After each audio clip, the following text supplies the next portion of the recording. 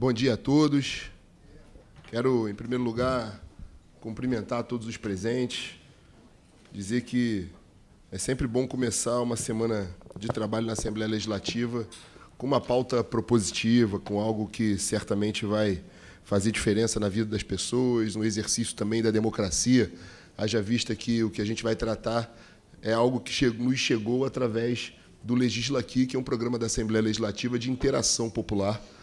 Então, muito nos agrada, por mais séria é, que seja a pauta, mas algo que seja propositivo e que efetivamente possa ser uma contribuição do Parlamento Fluminense para fazer a diferença na vida das pessoas. Então, sob a proteção de Deus, havendo o número legal, declaro abertos os trabalhos, lembrando que essa é uma audiência da Comissão de Normas Internas da Assembleia Legislativa, haja vista que a gente vai tratar de uma proposição que chegou através do, do canal oficial da Assembleia Legislativa, o Legisla eh, aqui, que é, é um método pelo qual as, pela qual as pessoas interagem com a Assembleia Legislativa e fazem proposições daquilo que querem ver transformado em lei. E, automaticamente, a gente vai explicar como funciona o Legisla aqui, mas a Comissão de Normas Internas da Assembleia Legislativa. A Assembleia é dividida em várias comissões temáticas, dentre elas uma comissão de normas internas que tem a missão de apreciar várias iniciativas, dentre elas essas de iniciativa popular. Então, oficialmente, essa reunião é uma reunião das normas internas, para que a gente possa instrumentalizar esse desejo de transformar em lei algo que veio é, da sociedade. Através da comissão, a gente chega a uma análise de texto e, a partir daqui, começa a tramitação do processo legislativo, como se fosse um projeto de lei proposto por qualquer deputado ou uma mensagem dos poderes, do Poder Executivo, do Poder Legislativo, igualzinho um projeto de lei é, como qualquer outro. Então, vou chamar para compor a mesa.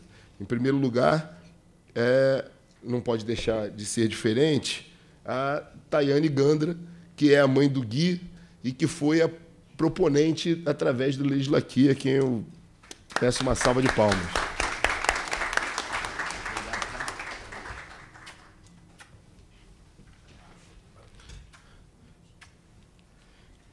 Já estão comigo o deputado Fred Pacheco, que é o presidente da Comissão Permanente de Pessoas com Deficiência, é membro da CCJ e membro da Comissão de Normas Internas também. É um dos deputados que segue o legado do irmão dele, o deputado então o deputado Márcio Pacheco, que hoje é conselheiro do Tribunal de Contas do Estado, mas que desde a sua do seu primeiro mandato como vereador na capital vem dedicando o mandato ao enfrentamento das doenças raras, ao direito e ao cuidado das pessoas com deficiência, outros temas também relevantes, como a questão da droga, a frente parlamentar. Ambos presidiram e presidem a frente parlamentar das comunidades terapêuticas, então tem um mandato muito vocacionado para essa questão das doenças raras e não haveria outra pessoa mais especial para que estivesse aqui conosco conduzindo o que vai ser uma lei de um programa permanente no Rio de Janeiro. Ao meu lado também, representando não só a Comissão de Educação, da qual ele é presidente, mas um mandato muito ativo, o deputado Alain Lopes, e representando os vascaínos também, já que o Guia é o grande mentor dessa lei. Não podia ser diferente nesse final de semana. O Guia tem tanta luz, né? Tanta história que nesse final de semana o meu Flamengo tomou uma surra e o Vasco do Gui brilhou e vai conseguir escapar aí do rebaixamento. Então, em homenagem ao Gui, um vascaíno convicto, que fez um grande trabalho agora de retomada de São Januário, deputado Alain Lopes, muito honra a sua presença aqui, deputado. Depois, Quero chamar o Rafael Thompson, que é o, o, o chefe de gabinete da presidência da Assembleia Legislativa, do presidente Rodrigo Bacelar. Foi o, o Thompson que organizou conosco. Está aqui, está aqui, Thompson. Está aqui, Thompson. O Thompson que ajudou aí com a Aline, que é diretora da casa. A Aline está por aqui. Cadê a Aline? A Aline está aqui. E, junto com a coordenação do Legislaqui, o Thompson tomou as medidas necessárias aí para que a gente pudesse avançar e conseguir realizar essa audiência toda é um grande entusiasta também dessa pauta, tem ajudado a gente na interlocução com os demais poderes e aberto as portas da casa para tudo que é necessário, como, por exemplo, a interação com as secretarias de saúde. Então, muito nos honra a presença do Thompson aqui, que sei que em breve poderá fazer ainda muito mais no âmbito municipal do Rio de Janeiro, assim como o Rodrigo também, que eu vou chamar agora. E a gente precisa de gente séria na política, e vocês dois são um grande exemplo disso. Então, chamo o Rafael Thompson, assim como chamo o Rodrigo Dinamite, que a maior credencial é ser amigo do Gui, e a segunda.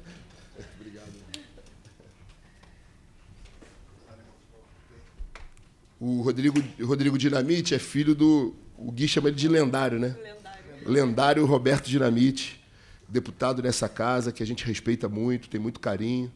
E que depois viemos a descobrir que ele não fez propaganda disso, né, Rodrigo?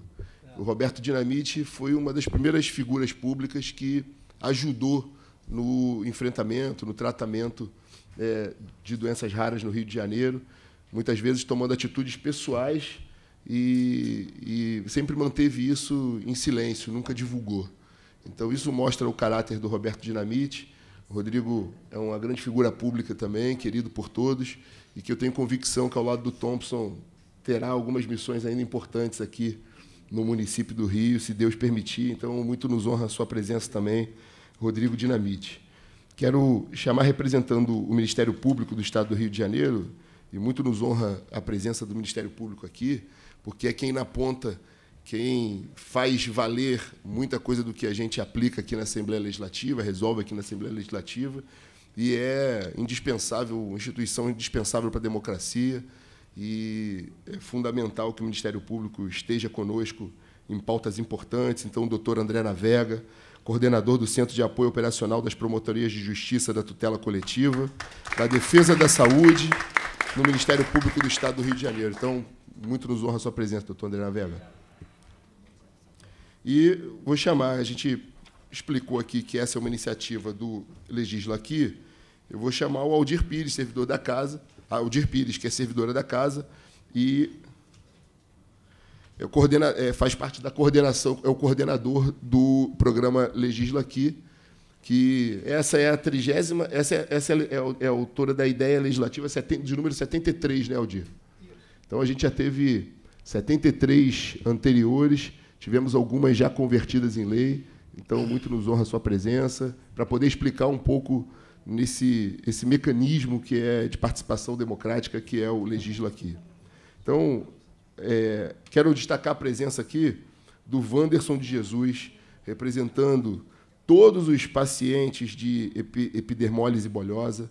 Muito nos honra a sua presença, muito obrigado. Parabéns pela tenacidade no enfrentamento de uma doença rara.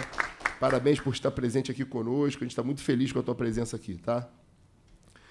Temos aqui também alguns convidados, a Andréa Coutinho, da Sociedade Brasileira de Enfermagem de Feridas e Estética, Aline Rego, da Sobenf, Luciana Marinho, gerente regional da Urgo Medical.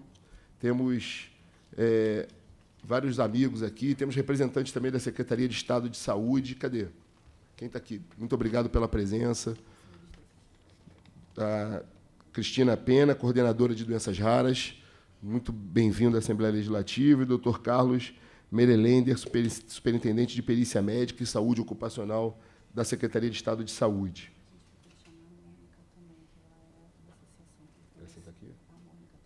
É, é, vou chamar. Cadê a Mônica? Chamar a Mônica para compor a mesa conosco aqui. A Mônica é da Associação de Epidermólise Bolhosa do Estado do Rio de Janeiro. É a diretora. Mônica Alves de Lima, seja bem-vinda. Muito obrigado pela presença.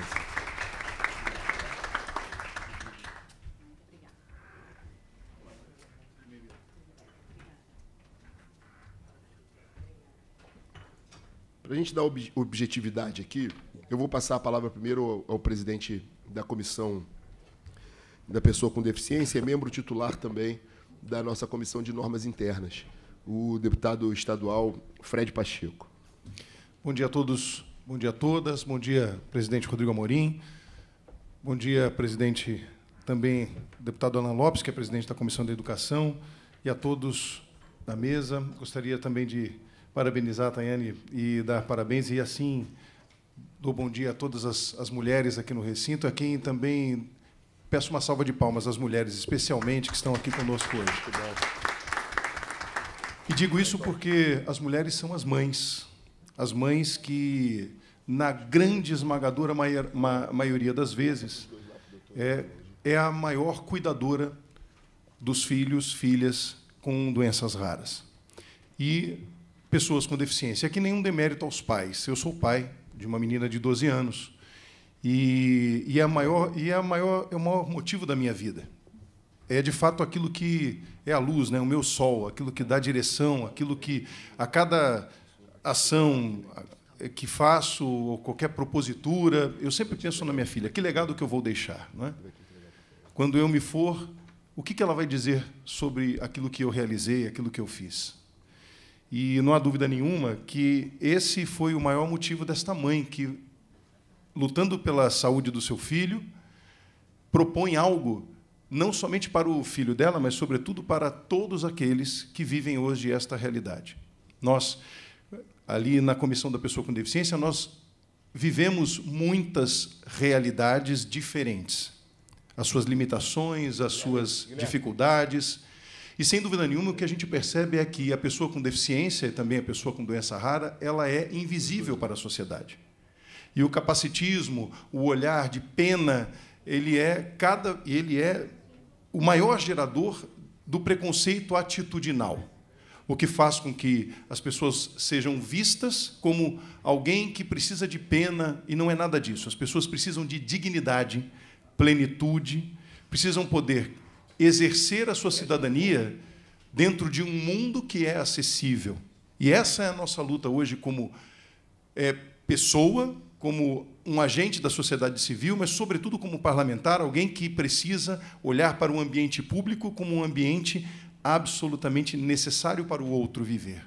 Então, esta audiência se faz tão necessária hoje para podermos discutir, especialmente a epidermólise bolhosa, que é uma doença rara que limita, que traz as suas dificuldades, que traz as suas diferenças, mas nós hoje precisamos nos unir para fazer com que, de fato, este mundo seja capaz de absorver com dignidade as mães, os pais e os pacientes que hoje vivem esta realidade. Então, essa, essa deverá ser a nossa luta, como cidadãos, mas, sobretudo, como pais, como mães que vivem hoje esta realidade. Então, parabéns mais uma vez também, estendo aqui os parabéns ao Rodrigo Bacelar, nosso presidente da casa, em nome do, do Thompson, que é o chefe de gabinete, por nos dar a possibilidade de exercer este ato democrático e cidadão nesta casa. Hoje, eu vim de um, de um evento é, no Instituto Benjamin Constant, deputado Rodrigo Amorim, que ontem celebrou 169 anos de existência. Então, lá nós vemos pessoas que estão se capacitando para viver é? pessoas cegas e de baixa visão que experimentam a realidade de cada dia lutar para conseguir ter uma vida plena. E o que mais escutei foi isso: eles não querem. É, é, as pessoas que estão ali vivendo, né, que estão ali estudando, especialmente ali no Instituto Benjamin Constant, eles querem sair de lá para ter uma vida autônoma.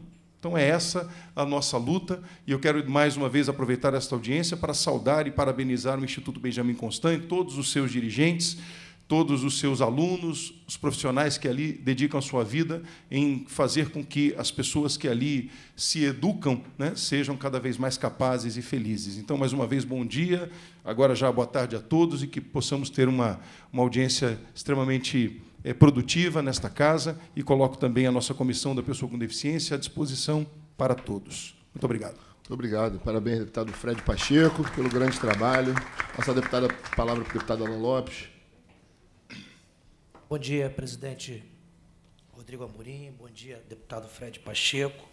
Bom dia, senhora Tayane. Hoje eu estou aqui não na condição de presidente de nada, talvez sequer, deputado Rodrigo Amorim, de deputado. Hoje estou aqui na condição de ser humano. Confesso que eu não conhecia essa doença. E geralmente às segundas-feiras é um dia que nós tiramos para atender as pessoas no gabinete. E como eu sou alguém que conheceu a história dessa doença rara através desse menino que eu posso dizer fascinante. Eu estou sempre acompanhando os vídeos dele, né? E vi esse fim de semana a mãe dele falando sobre essa audiência e eu desmarquei tudo, pedi perdão às pessoas que eu tinha marcado no horário da manhã para estar aqui presente. Porque, como eu bem disse, nós muitas vezes não sabemos de tudo o que acontece no mundo. E por conta dessa criança inspiradora, por conta dessa mãe que eu acho que falta inclusive adjetivos para classificá-la, porque guerreira é muito pouco, mas o amor que ela demonstrou pelo seu filho é algo que toca a todos nós. A força que esse menino tem é inspiradora. É uma força que, para qualquer um que algum dia acorda pensando em reclamar da vida, deveria rever seus conceitos. E, de maneira nenhuma, eu poderia deixar de estar presente aqui nesse lugar. Quero dizer que não sou da área de saúde, mas com o instrumento que eu tenho, que é o mandato conferido por milhares de pessoas, eu estou à disposição por ele e por todas as outras crianças que estejam também passando por esse problema, para me colocar na linha de frente, à disposição para cobrar o poder público, para interagir e interceder junto ao governador e todas as autoridades competentes para que nós possamos dar dignidade, sobretudo a essas famílias, porque só as famílias é quem sabe a dificuldade que é o comprometimento. Eu tenho certeza que os pais Talvez no caso da Tayane, que eu não conheço a vida dela particular, mas tenho certeza que ela tem que ter dedicação exclusiva a essa criança,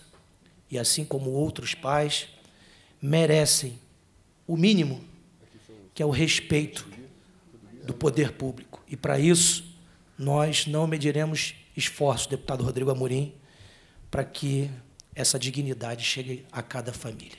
Muito obrigado. Muito bom.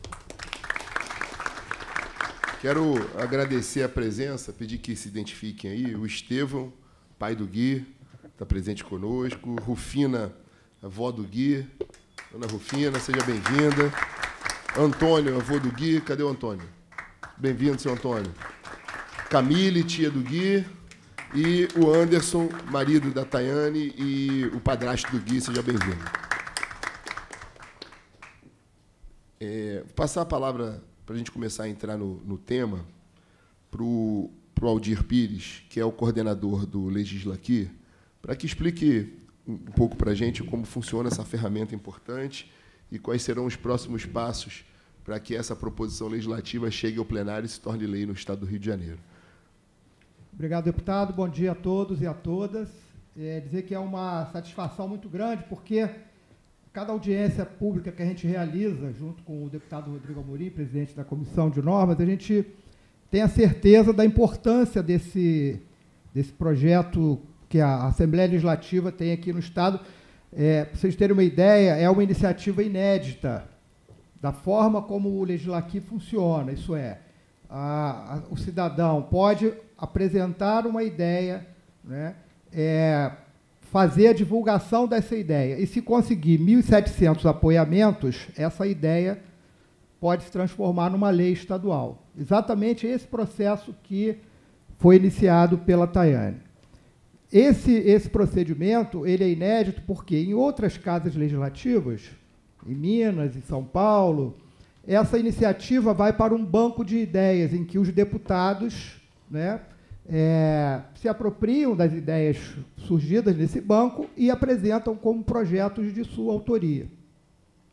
E aqui na Alerj, né, a, a, a, o formato em, com que esses, essas ideias são é, tramitam na casa é exatamente como a iniciativa da pessoa que sugeriu aquela, aquela ideia. Então, o deputado Alan estava falando dessa luta da Tayane, tantas outras pessoas. Nós já tivemos aqui agora, nesse processo aqui de quase dois anos do funcionamento do Legislaqui, 2.078 ideias que foram apresentadas. Dessas 2.078, a nossa equipe faz uma seleção, porque uma parte significativa disso, obviamente, pela, pelo problema enfrentado pelas pessoas ser, em sua grande maioria, municipal, essa seleção aponta para a gente que há uma incidência muito grande.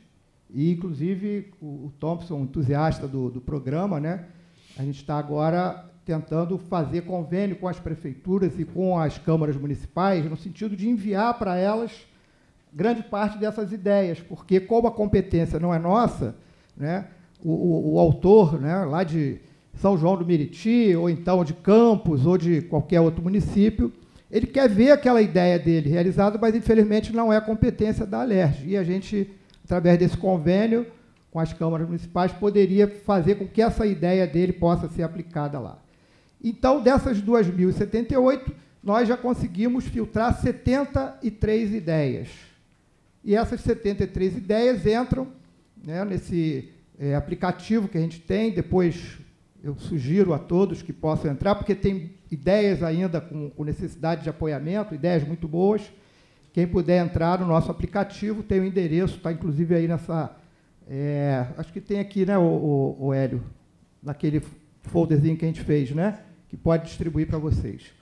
E ali, então, vocês vão encontrar ideias na área de transporte, na área de saúde, na área de educação, né, que, com certeza, são ideias que trazem para a população do Estado é, bem-estar, trazem melhorias, aquilo que os deputados né, poderão, em seguida, né, é, aproveitar como ideias que tramitarão na casa e podem virar uma lei. E nós já tivemos uma né, deputado Amorim, que foi aqui sancionada Verdade. pelo governador, que é a lei das composteiras né, nas escolas, uma lei muito importante aqui para o nosso Estado. Então, concluindo, quero dizer para vocês isso, quer dizer, a, a, hoje essa audiência pública ela é, vem coroar esse trabalho que a gente vem desenvolvendo na casa, né, com apoio do presidente Bacelar, com apoio do presidente da Comissão de Norma, deputado Amorim, que é um entusiasta da ideia, e a gente espera daqui para frente, inclusive, é, cada vez que há aprovação de uma, uma lei aqui, isso, quando é divulgado pela imprensa, atrai um número muito maior de ideias, porque as pessoas acabam vendo que elas isso. têm esse poder e a gente né, torce para que isso aconteça, apesar de ficar sobrecarregado aqui com a nossa pequena equipe, mas é um momento que a gente percebe que efetivamente estamos no caminho certo. Então, quero deixar aqui uma saudação a vocês que estão aqui né? E aqueles que não puderam estar, eu tenho acompanhado as postagens lá da, da Tayane, do, do Gui, né? Quer dizer, milhares de pessoas de outros estados, de pessoas que trabalham, que não poderiam estar aqui presentes, mas que deram, é, é, fizeram questão de falar né, da importância dessa audiência, que estavam torcendo pelo êxito é, e que, quer dizer, isso certamente né, poderá trazer bem-estar para as pessoas que têm EB. Então, muito obrigado a todos e um bom é, encontro, uma boa audiência para todos vocês. Muito bom, parabéns pelo trabalho. Aldir toca esse trabalho que é um trabalho indispensável, fundamental e que a nossa grande missão hoje, além de fazer valer e tornar essa lei uma lei no nosso ordenamento, que seja cumprida, é divulgar essa, essa importante ferramenta que o Aldir nos relatou aqui. E cada vez que uma lei que tenha clamor popular, que tenha visibilidade ela acaba acontecendo, virando realidade por meio do, do aplicativo e da ferramenta, a gente acaba fazendo com que seja um instrumento de publicidade, de divulgação desse, dessa, desse instrumento importante do Parlamento Fluminense. E a gente tem a convicção que vai acabar acontecendo também com a lei que a gente vai aprovar. Vou passar a palavra para o Rafael Thompson, chefe de gabinete do presidente Rodrigo Bacelar, que é um entusiasta do programa legislativo, que iniciou na legislatura anterior, mas o presidente Rodrigo Bacelar fez questão de dar continuidade e o Rafael Thompson é quem tem sido o personagem, a figura importante para dar continuidade a, esse, a essa importante ferramenta. Então, passar a palavra para o meu amigo Rafael Thompson. Boa tarde a todas e a todos. Prazer estar aqui. É, queria saudar o presidente da comissão, é, deputado Rodrigo Amorim, deputado Fred Pacheco, deputado Alan Lopes, é, grandes quadros dessa casa. Eu queria hoje, primeiro, agradecer a Deus por, por essa oportunidade, porque há menos de 60 dias atrás tivemos juntos, eu, Rodrigo e a Tayane, para falar sobre, sobre o Gui. E eu queria hoje, além de agradecer a Deus e, e demonstrar alegria é, de ver essa plateia cheia de gente para discutir é, doenças raras, eu queria aqui agradecer ao presidente Rodrigo Bacelar é, pela sensibilidade que ele teve. Vou fazer um breve histórico para que vocês entendam como a gente chegou até aqui. O presidente Rodrigo Bacelar, como todos nós aqui, recebeu o vídeo do Gui acordando né, do, do coma, é, chamando pela mãe. Né? Então, todos nós ficamos emocionadíssimos com aquele vídeo. E o presidente me deu a missão, falou assim, olha, acha essa criança, acha a mãe dele, para a gente discutir alguma solução para melhorar a vida dessas pessoas. É, essa é a função do parlamento, essa é a função de cada brilhante deputado que tem aqui. E aí a gente foi atrás, eu tenho ao meu lado aqui esse grande cara, Rodrigo, que rapidamente trouxe a Tayane aqui, a gente discutiu e achou por bem utilizar o Legislaqui, porque é uma forma transparente da gente discutir política pública, ideias, interagir com a sociedade. É, essa casa é a casa de leis, é a casa do povo. É, então, todos os deputados estão abertos a ouvir, a receber sugestões. E eu tenho muito orgulho de dizer, deputado Rodrigo Amorim, que essa legislatura é a legislatura mais bem preparada e a que mais entrega para a população. Parabéns pela condução de vocês diariamente, Obrigado. Porque a sociedade tem visto é, a efetiva mudança na vida das pessoas é, com diversas é, legislações apresentadas por vocês. E após essa nossa reunião, eu levei ao presidente Rodrigo Bacelar, olha, a gente tem a sugestão de fazer a, a, o projeto de lei via legislaqui. Ele falou, pode fazer, mas chama o presidente Rodrigo Amorim, que foi o primeiro entusiasta, falou: vamos fazer assim que tiver o esboço pronto. Você traz para a gente que a gente faz audiência pública. E, é, para nossa felicidade, essa audiência pública de hoje vai discutir uma, está é, tá discutindo uma pauta sobre as doenças raras. Mas, mais uma vez, o presidente Rodrigo Bacelar é, foi sensível à causa das doenças raras. E, na sexta-feira passada, foi publicado em Diário Oficial a criação da frente parlamentar é, para é, é, manutenção e ajuda às pessoas com doenças raras, presidida pelo deputado é, Munir Neto e o, tendo como vice-presidente o deputado Fred Pacheco, que está aqui na mesa. É, agora é, temos o fórum específico, o fórum específico para tratar das doenças raras é, como um todo. Né? A gente já, eu já recebi pessoas com a doença de Addison, Inclusive, tem um servidor da casa que tem a doença, e, e isso faz com que a gente consiga efetivamente é, trazer de volta o protagonismo para essa casa é, na discussão dessas, dessas pautas tão importantes. Porque, como eu falo todas as vezes, falei com a Tayane também, é, se a gente vier trabalhar todo dia, deputado Rodrigo Murim, e não for para ajudar e melhorar a vida das pessoas, não justifica a gente estar aqui. É, então, assim, é, eu fico muito feliz de ter sido uma ferramenta de poder receber a Tayane, poder ajudar e a gente construir junto isso, porque a gente vai ajudar muita gente, a gente vai plantar uma semente que vai ajudar as, as crianças que vão nascer com essa doença, que que estão vindo aí, não tem assistência. A gente está falando da, da Tayane, que é uma, vem de uma família de classe média, que aos trancos e barrancos vai cuidando do filho, mas a gente tem crianças que não têm o menor, menor é, é, sustentação e a gente precisa dar essa, esse braço amigo. Então, eu queria agradecer também aqui, a, principalmente é, duas pessoas dessa casa que se dedicam integralmente a isso e fazem com que o, essa casa funcione de uma forma maravilhosa e isso como servidor dessa casa, me deixa muito feliz, porque são servidores que todo, trabalham diariamente e se entregam em nome da população. Queria agradecer a Aline, é, de nossa diretora das comissões permanentes, é, e queria agradecer ao Aldir, porque desde o primeiro dia que a gente discutiu isso, é, eles pegaram isso na unha e têm trazido para que o resultado seja o melhor possível para todo mundo. É, parabenizar você, Tayane, porque é, a gente já conversou, sei da tua luta, sei do teu compromisso com seu filho, mas não só com o seu filho. É, o que a gente discutiu da, há 60 dias atrás, é, você nunca olhou só para o teu filho. Você falou assim, oh, não estou querendo fazer essa lei porque vai beneficiar meu filho. Eu estou querendo pela coletividade, por, pelas outras pessoas. E esse altruísmo que você tem é, faz com que a gente tenha mais dedicação e queira trabalhar mais para chegar em mais pessoas que precisem. Então, é, ótimo dia de trabalho para todos. Muito obrigado pela oportunidade e estaremos juntos. É, é, saudar o nosso vereador Rogério Amorim, grande parceiro, médico e um grande amigo da saúde, da segurança pública no município do Rio de Janeiro. Muito obrigado, uma boa tarde a todos. Obrigado, muito bom. Passar a palavra para o Rodrigo Dinamite.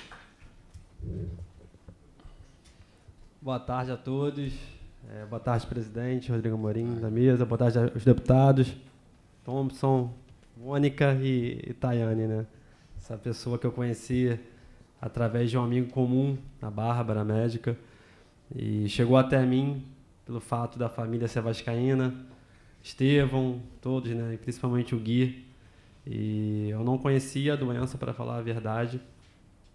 Só que lá em casa já conheciam, né? Meu pai, em 2018, através da Nicole, é, ajudou de alguma forma.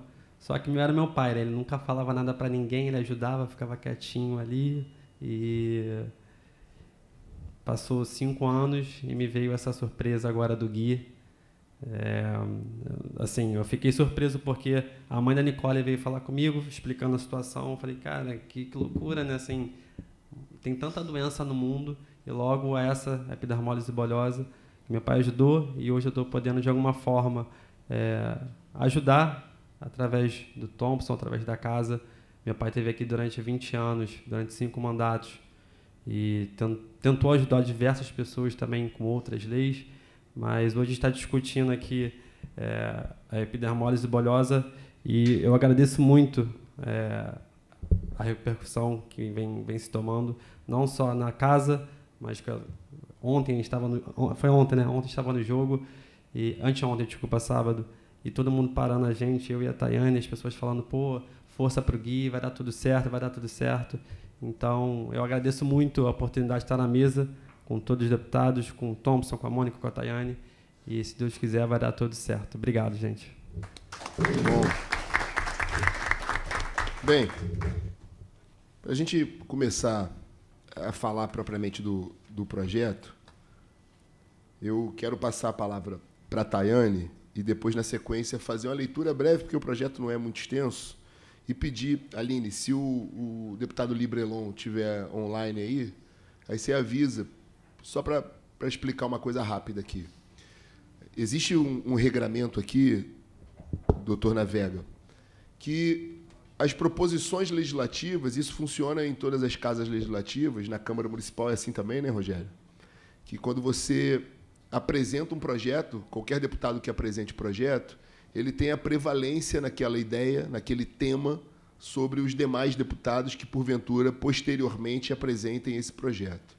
Então, em termos práticos, é o seguinte: olha, se o deputado Fred Pacheco protocolou um projeto de lei falando sobre um tema tal, se futuramente outro deputado apresentar um projeto similar, esse projeto ele está prejudicado, porque ele tem que ser anexado ao projeto original daquele autor.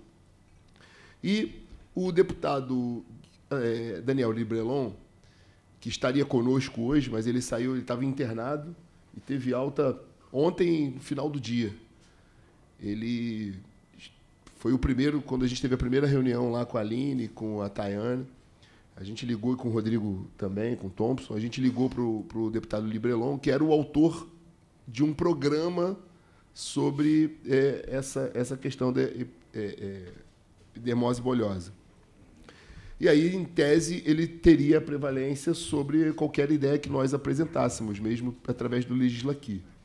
Então, imediatamente, o deputado Librelon abriu mão do projeto dele e disse para que a gente continuasse com o projeto da Tayane, com o projeto do Gui e o projeto que está sendo discutido hoje. Então, foi uma atitude muito nobre por parte do deputado Daniel Librelon de abrir mão da sua iniciativa original podendo fazer com que nós dessemos continuidade e andamento ao que a gente está discutindo aqui hoje.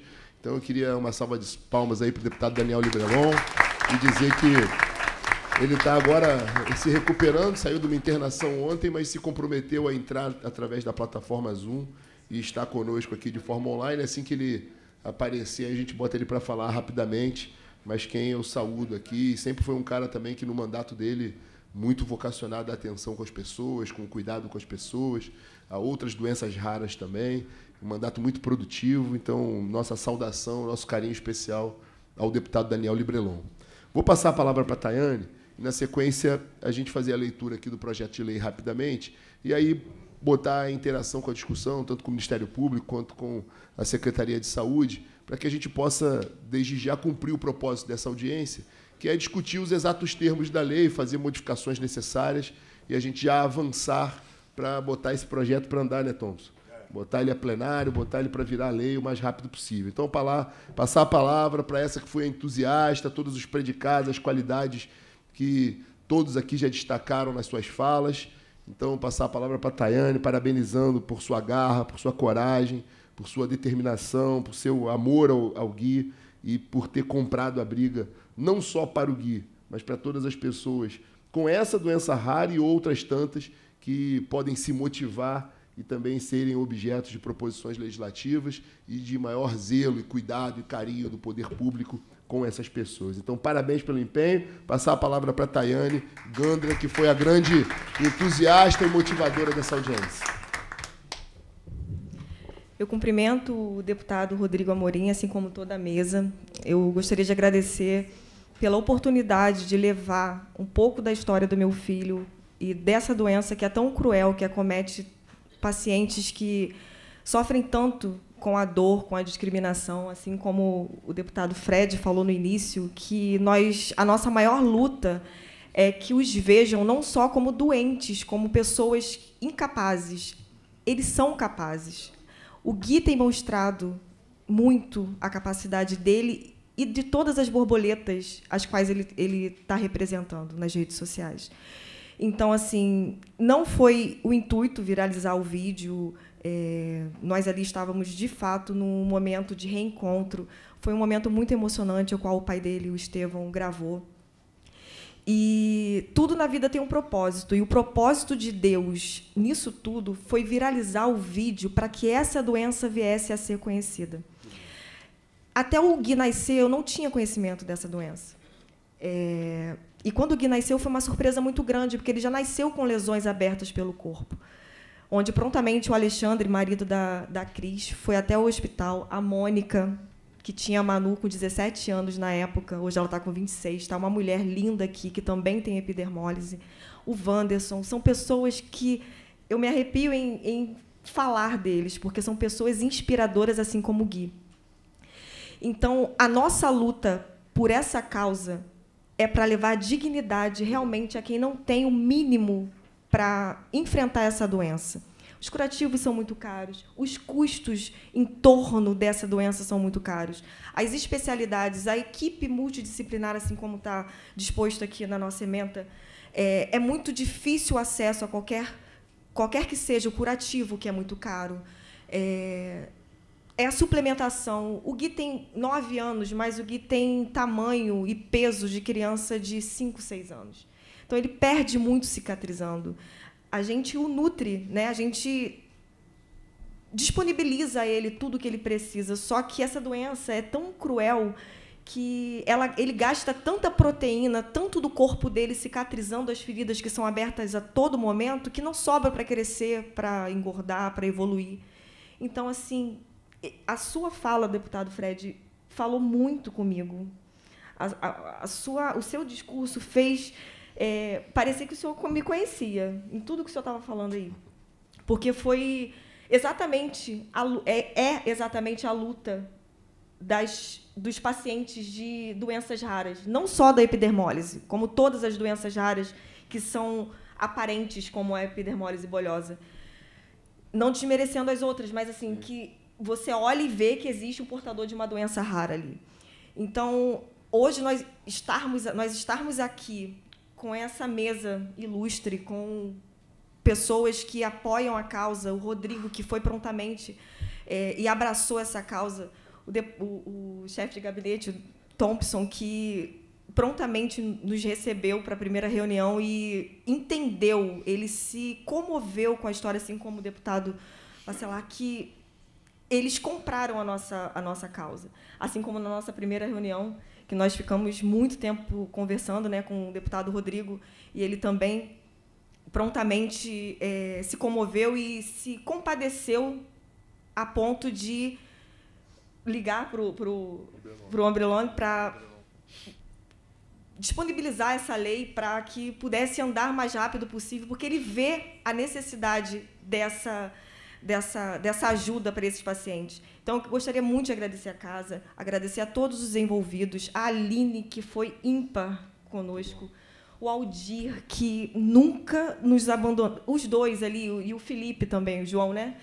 Eles ficaram o tempo inteiro é, se disponibilizando para nos tirar qualquer tipo de dúvida e querendo sempre agregar a nossa emenda. Então, muito obrigada a toda a casa, muito obrigada a todos que se disponibilizaram a vir nos apoiar. A Catiana, que, que foi uma amiga que a rede social nos, nos proporcionou, que, é, através da rede social, abraçou essa causa e também divulga de forma ímpar nas redes sociais dela. E muito obrigada mais uma vez. Deus abençoe a todos vocês. Muito bom.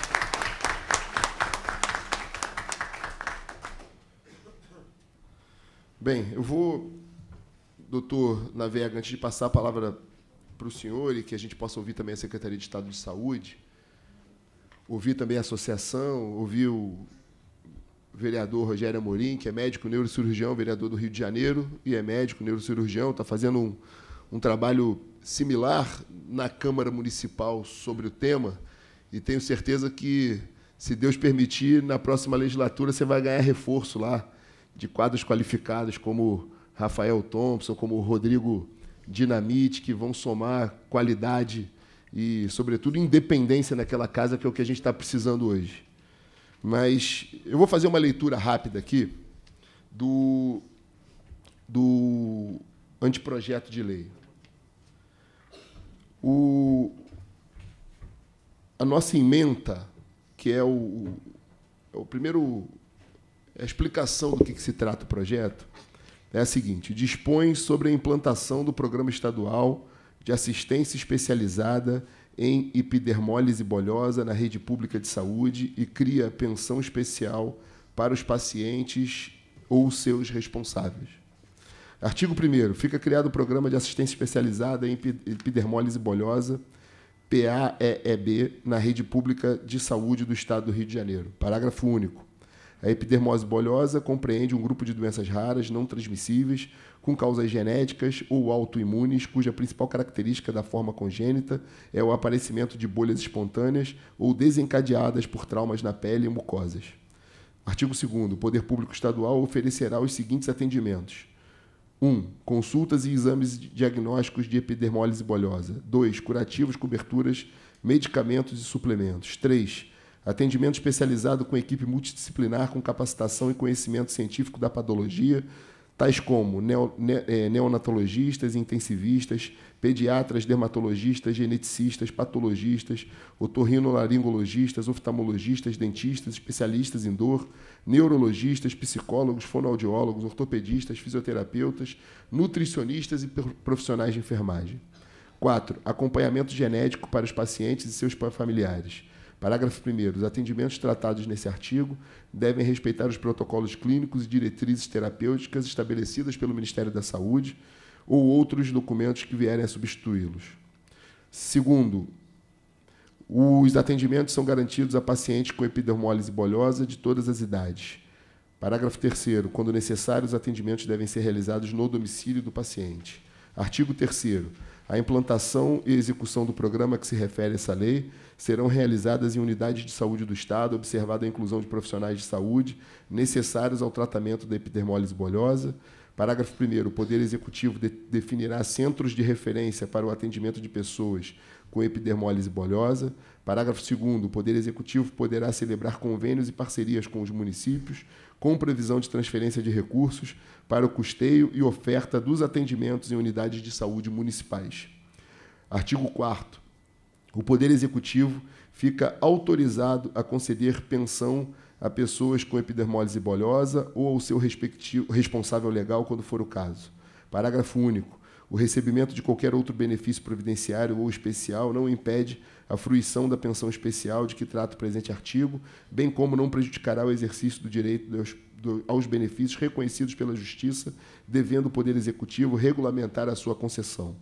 Artigo 5 as operadoras de plano de saúde que atuarem completamente, complementarmente ao previsto na presente lei, receberão o selo operadora amiga do paciente com epidermólise bolhosa. Artigo 6 O Estado fomentará a divulgação das diretrizes terapêuticas para epidermólise bolhosa junto às unidades e profissionais de saúde, bem como promoverá campanhas de conscientização sobre a condição da raridade e não transmissibilidade da doença para o público amplo. Artigo 7 As despesas com execução presente, da presente lei correrão por conta das dotações orçamentárias próprias. Artigo 8 Essa lei entra em vigor na data de sua publicação. Essa é a proposta que a gente está discutindo hoje. Então, já adentrando aqui ao tema específico das características da epidermólise bolhosa, vou passar a palavra para a associação, e aí, na sequência, para o Ministério Público, para o vereador Rogério Amorim também, que a gente talvez possa sair daqui com uma, um encaminhamento para que algo relacionado ao poder público municipal na capital do Rio de Janeiro possa sair, ser criado em decorrência dessa discussão também. E então vamos fazer aqui a discussão, passar a palavra para a associação, depois para o Ministério Público, para o doutor Navega.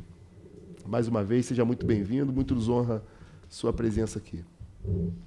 Obrigada, bom dia. Eu gostaria de pedir desculpas pela minha emoção. Eu realmente estou é, muito grata de estar presente nessa casa hoje, representando a Associação de Epidermólise Bolhosa do Estado do Rio de Janeiro, a EBERGE. Está aqui conosco a nossa presidente, Cristina Pliego. É, obrigada, ela chegou agora. É, a associação existe há 10 anos. Eu tenho uma filha com 26 anos, como já foi dito, e há 26 anos atrás a epidermólise bolhosa sequer era reconhecida, inclusive como uma doença rara. É, naquela época dizia-se que Manuela era o sexto caso protocolado no estado do Rio de Janeiro, o que nos causou um movimento enorme por conta de não sabermos para onde ir, o que fazer, como tratar. E após 10 anos, é, num simpósio, é, nos unimos a outros familiares, por ideia da Cristina, que também é, teve o Felipe com epidermólise, e criamos a associação. A partir desse momento, a gente é, dá assistência às famílias. Toda vez que nasce uma criança com epidermólise bolhosa, nós vamos aos hospitais para dar as primeiras informações, mas o fato é que nós não somos, eu não sou da área de saúde, eu sou mãe de EB.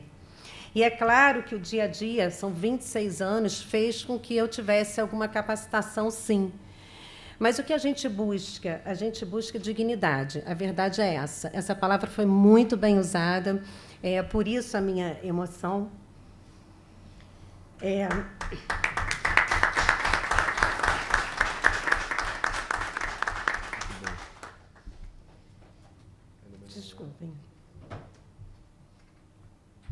A epidermólise bolhosa não é só bolha, né? Claro que é uma deficiência de colágeno e por conta disso há o descolamento da pele e essas é, essas feridas são recorrentes, o que o que dificulta muito o tratamento. Por que uma equipe multidisciplinar? Porque um paciente de epidermólise não faz tratamento só com dermatologista, ele precisa de ortopedista, de fisioterapeuta é, ele precisa, a família, inclusive, precisa é, de atendimento psicológico, porque É, se nós não tivermos preparados para lidar com os nossos filhos e com a sociedade, porque o preconceito é muito grande, vocês não fazem ideia, é, como cuidar de alguém se nós não conseguimos cuidar de nós mesmos? Então, a associação tem feito esse trabalho há 10 anos porque nós vimos em nós mesmos a única saída para a doença. E é a respeito disso que nós lutamos, é por isso que nós lutamos. Eu quero que. Eu sei que eu não vou estar aqui para sempre, e eu quero ter a certeza de que amanhã, na minha falta, minha filha tem para onde ir, que ela vai ser bem assistida e que todos os pacientes merecem, merecem é, se sentirem protegidos. É um direito do cidadão. Saúde é um direito do cidadão, isso está na Constituição mas uma saúde capacitada, uma saúde monitorada com eficiência e eficácia. Então, por exemplo, nós precisamos de maternidades que possam fazer esse mapeamento.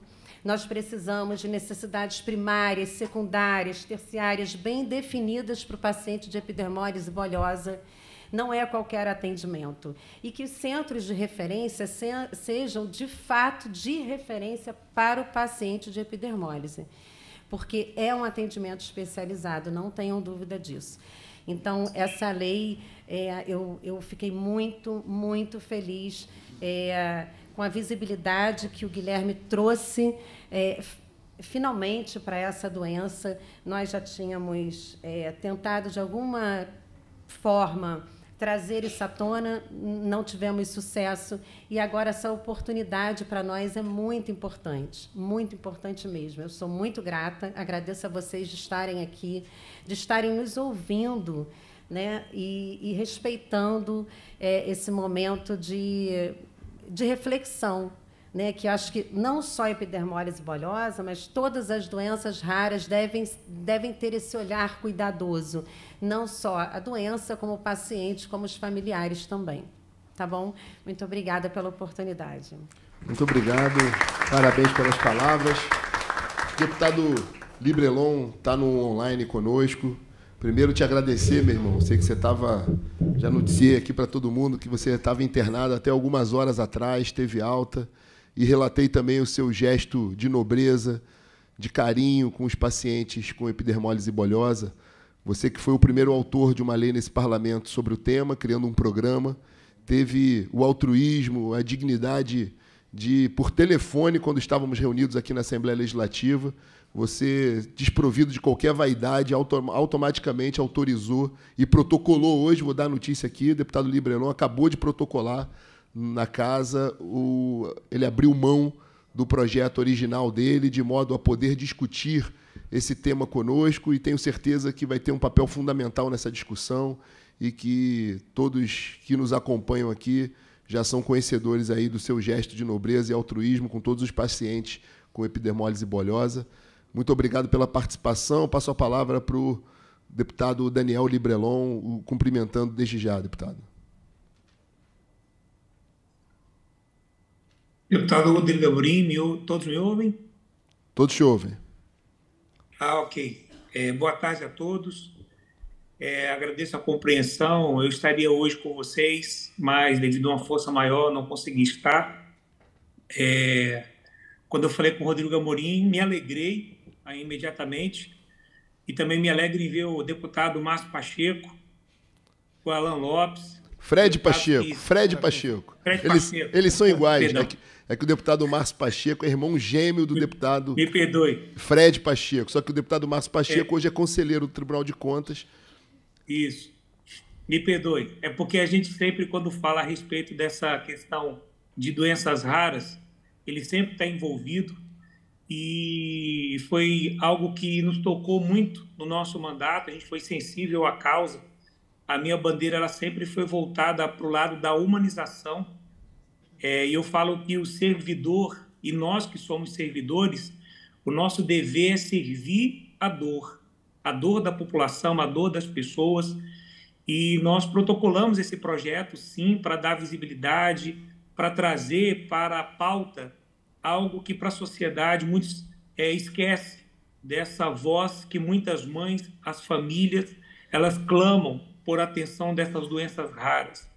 E quando fiquei sabendo que havia toda essa comitiva, todas essas pessoas envolvidas nessa causa tão nobre, eu não tive é, sombra de dúvida que estaria participando de um grupo que só potencializaria mais essa visibilidade. De imediato, retirei o meu projeto de lei, me prontifiquei a colocar à disposição, me coloco à disposição de todos, sempre estou à disposição, estou em recuperação, voltarei em breve e pode ter certeza, deputado Rodrigo Amorim, que preside essa sessão, e todos os deputados, todas as autoridades, todas as famílias aí presentes. Sempre conta com o mandato do Librelon, vamos estar em quatro mãos para ajudar a população fluminense e as pessoas que são vítimas dessas doenças raras. Muito obrigado. Obrigado, meu irmão. Parabéns mais uma vez pelo gesto.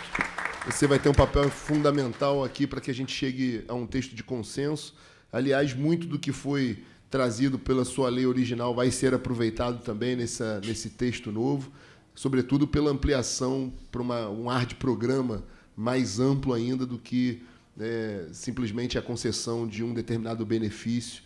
Então, é um programa de construção mesmo coletiva. Agradeço mais uma vez, e você tem aqui o carinho, o abraço de todos pelo nobre gesto desprovido de qualquer vaidade, o que é muito incomum, muitas vezes, na política, o seu generoso gesto. Obrigado, meu irmão, boa recuperação. Conte conosco Obrigado. aqui. Fique com Deus. Um abraço para o nosso amigo Tom, que está na mesa aí. Eu acabei passando um olhar aí, esqueci dele. Esse nosso parceiro fiel. Bora. Obrigado, meu irmão. Fique com Deus. Bem. Valeu. Passar a palavra para o. É, é... Peraí. Já fiz a leitura aqui do anteprojeto. Passar a palavra para o. O deputado Librelon fez a menção aqui do deputado Márcio Pacheco, que de fato, como eu falei inicialmente, desde o seu primeiro mandato como vereador da capital do Rio de Janeiro e depois dos subsequentes mandatos de deputado, sempre foi presidente, eu acho que no âmbito municipal também, também. das comissões das pessoas foi secretário com municipal. Foi secretário municipal da, pessoa com deficiência. Então sempre teve um mandato de família vocacionado para o tema. E essa confusão, embora não seja gêmeo do meu irmão, o vereador Rogério Amorim, mas é bom quando as pessoas fazem, é sinal que os dois trabalham em comunhão e eu tenho certeza que o Fred não se sente ofendido é com. Eu costumo dizer o que eu ouço sempre, mas aí eu tenho a oportunidade de me vingar dessa fala. Eu sempre que estou em público, alguém fala: Ó, oh, o seu irmão é muito melhor que você. E aí eu falo para o Márcio Pacheco que o Fred é muito melhor que o Márcio. Então o Fred é a evolução do mandato do Márcio Pacheco aqui na casa. Então vou passar a palavra para o meu irmão, o vereador Rogério Amorim, não só como vereador da cidade do Rio de Janeiro, mas como médico, neurocirurgião, e que pode fazer essa extensão do que a gente está trabalhando aqui, a Câmara Municipal, e que isso motive outros vereadores de outros municípios a também fazerem o mesmo e a gente criar uma ampla corrente, uma ampla rede em favor dos pacientes com epidermose bolhosa. Está aqui o Ronald Generoso, também da cidade de Mesquita, que faz um trabalho com pessoas com deficiência lá. Muito bem-vinda, muito bem-vindo a essa casa. Obrigado a todos. Boa tarde. Queria agradecer a oportunidade de estar aqui, parabenizar a todos da mesa, principalmente a Tayane, mas também todos os outros, Mônica, Rodrigo, Rafael, deputado Rodrigo Amorim, Fred Pacheco, Alain, representante da Secretaria de Saúde e do Ministério Público, bem como todos os que estão aqui. Eu acho que o principal disso tudo nós já conseguimos, que é a visibilidade. Na verdade, quando nós trabalhamos com qualquer tipo de doença, principalmente quando nós falamos rara, nós esquecemos muitas vezes em mencionar o principal problema dessas doenças. Os dois principais problemas é o peso que essa família carrega junto. Eu costumo falar isso com meus residentes e os meus alunos quando alguém adoece, a família adoece junto. Adoece o pai, adoece o irmão, adoece a mãe, adoece o companheiro, a companheira, todos adoecem juntos com isso e, sobretudo, o preconceito. O preconceito normalmente fruto da falta de conhecimento. E a epidermólise bolhosa é um exemplo claro disso. Primeiro, que boa parte da sociedade sequer sabe o que é isso. E, consequentemente, a maioria das pessoas pensa que é algo contagioso, que eu não posso me aproximar, porque eu posso pegar isso também. Então, o conhecimento e a luz são as principais armas para poder vencer e avançarmos em relação a qualquer tipo de patologia e qualquer tipo de doença. E eu lembro sempre, Thompson, que a principal norte do parlamento, e muitas vezes muitos de nós nos confundimos, não é o princípio da igualdade. Erra o parlamentar que entra na casa legislativa com o conceito de igualdade. O conceito é de equidade. Isso é completamente distinto de igualdade. Equidade é dar aquilo a quem precisa. É dar mais a quem precisa mais. É concentrar esforços e recursos para quem precisa mais. O que é diferente de igualdade. E é um exemplo muito claro a epidermólise bolhosa nisso tudo. Então nós precisamos sim dar mais para quem precisa.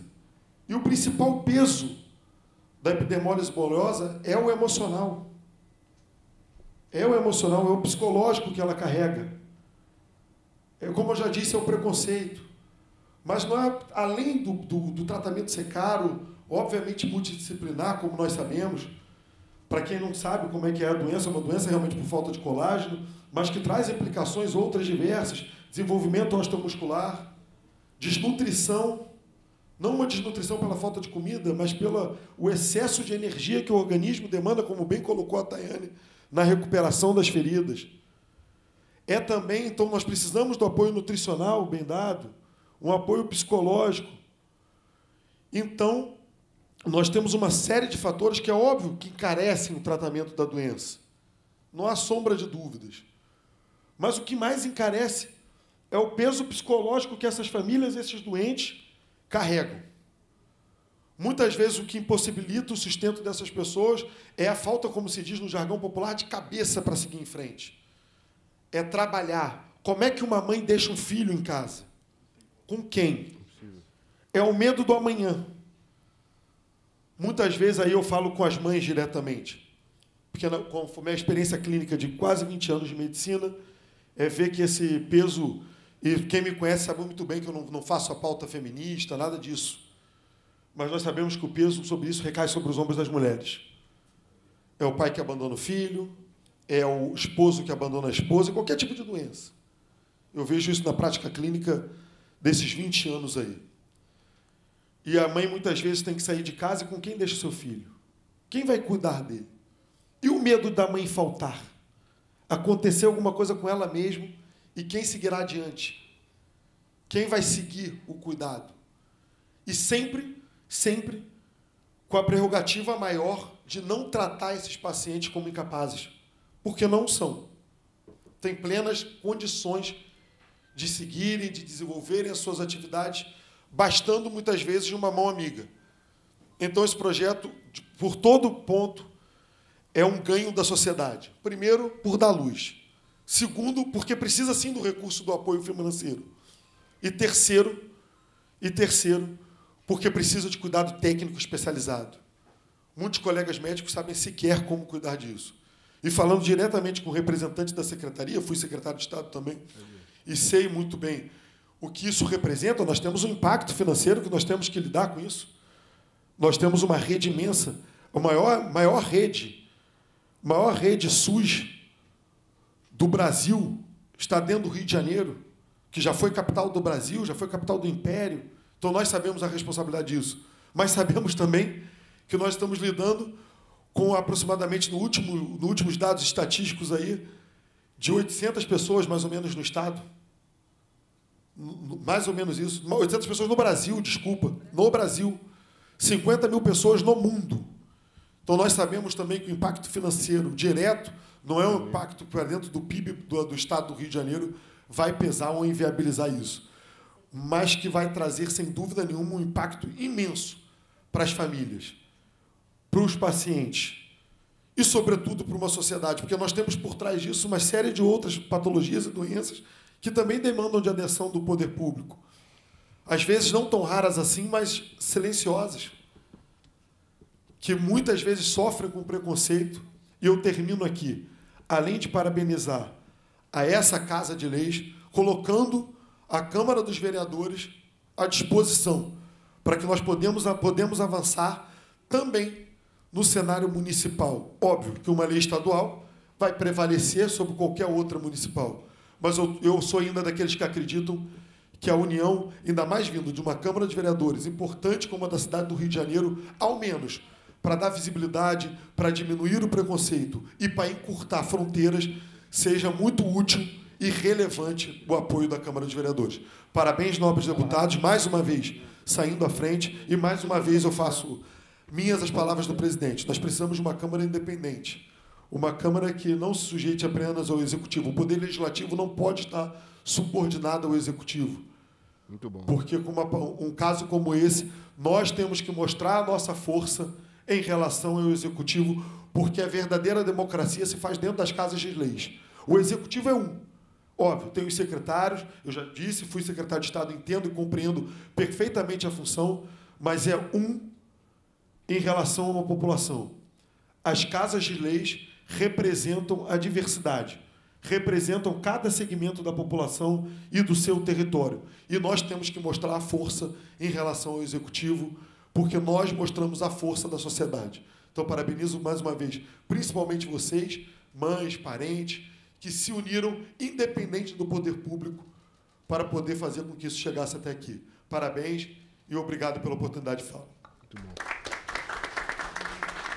É, não sei se a Manuela ou o Anderson vão, querem fazer uso da palavra. Quer fazer uso da palavra? Então, vou passar a palavra pro, para o doutor André Navega, mas, se me permite, doutor André, fazer aqui, é, e, e, aproveitar a presença do, do Aldir Pires também, a proposição via legislativa deu entrada, se transformou na, na, na ideia legislativa número 73, a partir do momento que isso acontece, a Comissão de Normas Internas ela transfere isso para o papel e se inicia o processo legislativo. É esse o trâmite, não é?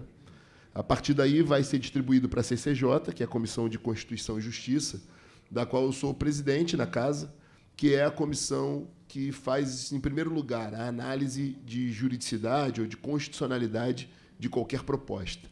Por óbvio, a lei é absolutamente constitucional, jurídica e tudo mais.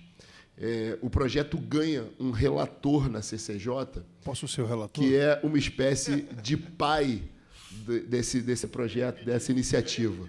Então, para quebrar aqui, é, ele estragou a surpresa, mas, mas eu, já como presidente da Comissão de Constituição e Justiça, quero designar como relator da, dessa ideia legislativa, desse projeto de lei que vai tramitar na casa, como relator e pai dessa lei aqui no Parlamento Fluminense, o relator, deputado Fred Pacheco, que vai ter a sabedoria e, sem dúvida nenhuma, a sensibilidade suficiente de manter o texto original, fazer a aprimoração necessária, o aprimoramento necessário e que a gente tenha uma lei que possa ser aplicado de fato, que é o que a gente busca aqui hoje, dando menos trabalho para o Ministério Público no futuro de fazer aplicar essa lei. Então, está designado como relator dessa, desse projeto o deputado Fred Pacheco. É, é uma lei, já fazendo aqui uma sessão da CCJ, doutor André, é uma lei que ela é moderna em alguns sentidos. A gente tem aqui umas, algumas leis que são autorizativas, né, Thompson? E outras leis que são é, tornam obrigatório determinado direito. Aqui a gente consegue conciliar duas questões. Primeiro, cria um programa efetivo um programa que é multidisciplinar, que envolve várias questões, além da concessão de benefício, mas cria um programa efetivo a ser cumprido pela, pelo, pelo poder público. Então, ela é obrigatória em vários aspectos e ela é autorizativa em outros. A gente está no meio de um regime de recuperação fiscal. O Estado do Rio de Janeiro ele é muito tolhido nesse momento de fazer qualquer tipo de gasto suplementar. Então, a partir do momento que a gente bota como autorizativo, por exemplo, a questão da concessão do benefício às famílias, é, nós estamos autorizando, se é papel do Poder Legislativo fiscalizar o Executivo, automaticamente aquele que deve fiscalizar determinada entidade está dizendo o seguinte: ó, eu tenho a missão de te fiscalizar, mas como fiscalizador eu já estou autorizando a você fazer determinada atitude. Então, isso já é um, um, um passo à frente para que o Poder Executivo possa é, efetivar o que está disposto nessa lei. Tem algumas considerações que eu gostaria de fazer de forma muito rápida aqui. Em relação ao artigo 7 fala essas despesas de execução da presente lei correrão por conta das dotações orçamentárias próprias. Nós temos é, sido muito críticos na CCJ de part... vamos partir do pressuposto que toda lei ela precisa apontar a fonte de custeio. Uhum. Essa aqui é uma lei que gera despesa.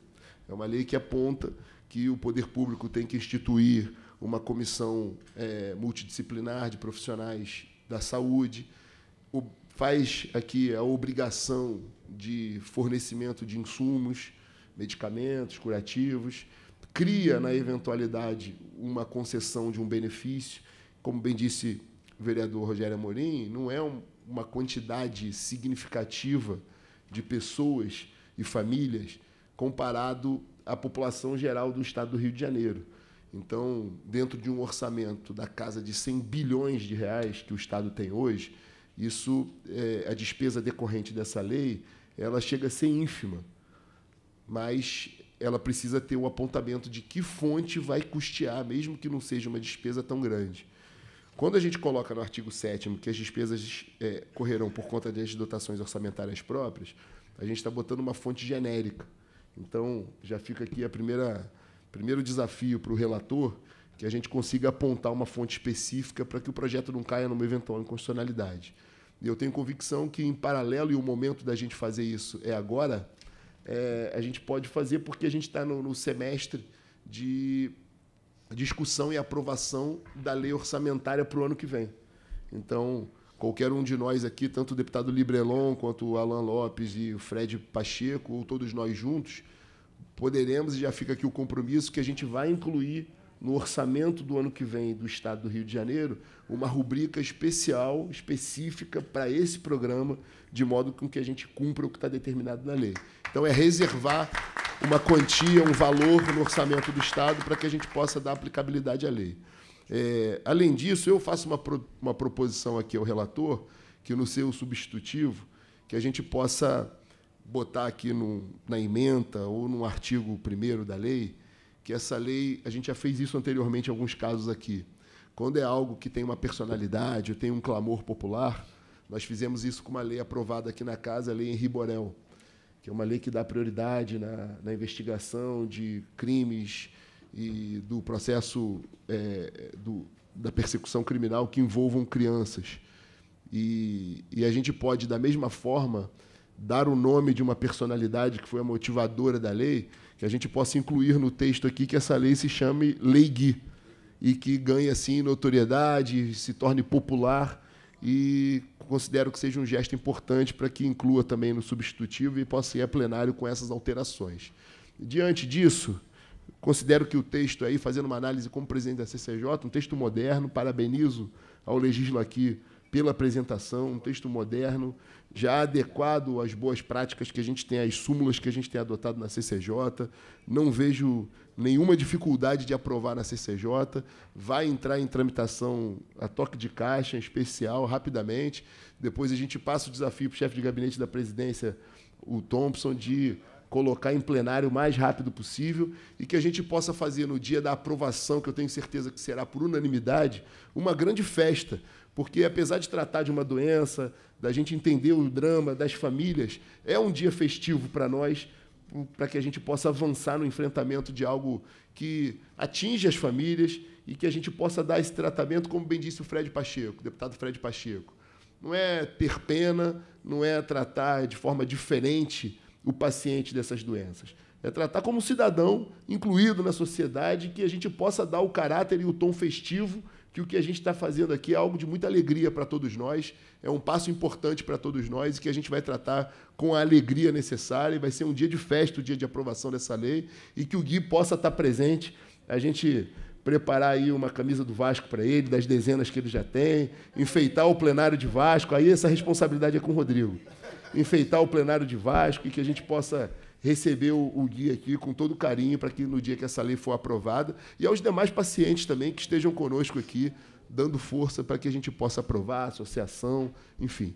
Passar a palavra para o Ministério Público, doutor André Navega, depois para a Secretaria de Estado de Saúde, para que a gente possa também discutir de forma técnica algumas alterações já, para que seja incluído aqui no parecer do relator Fred Pacheco. Doutor André, Muito, muito, muita alegria ter Vossa Excelência aqui. E o Ministério Público é um grande parceiro dessa casa e da Assembleia Legislativa.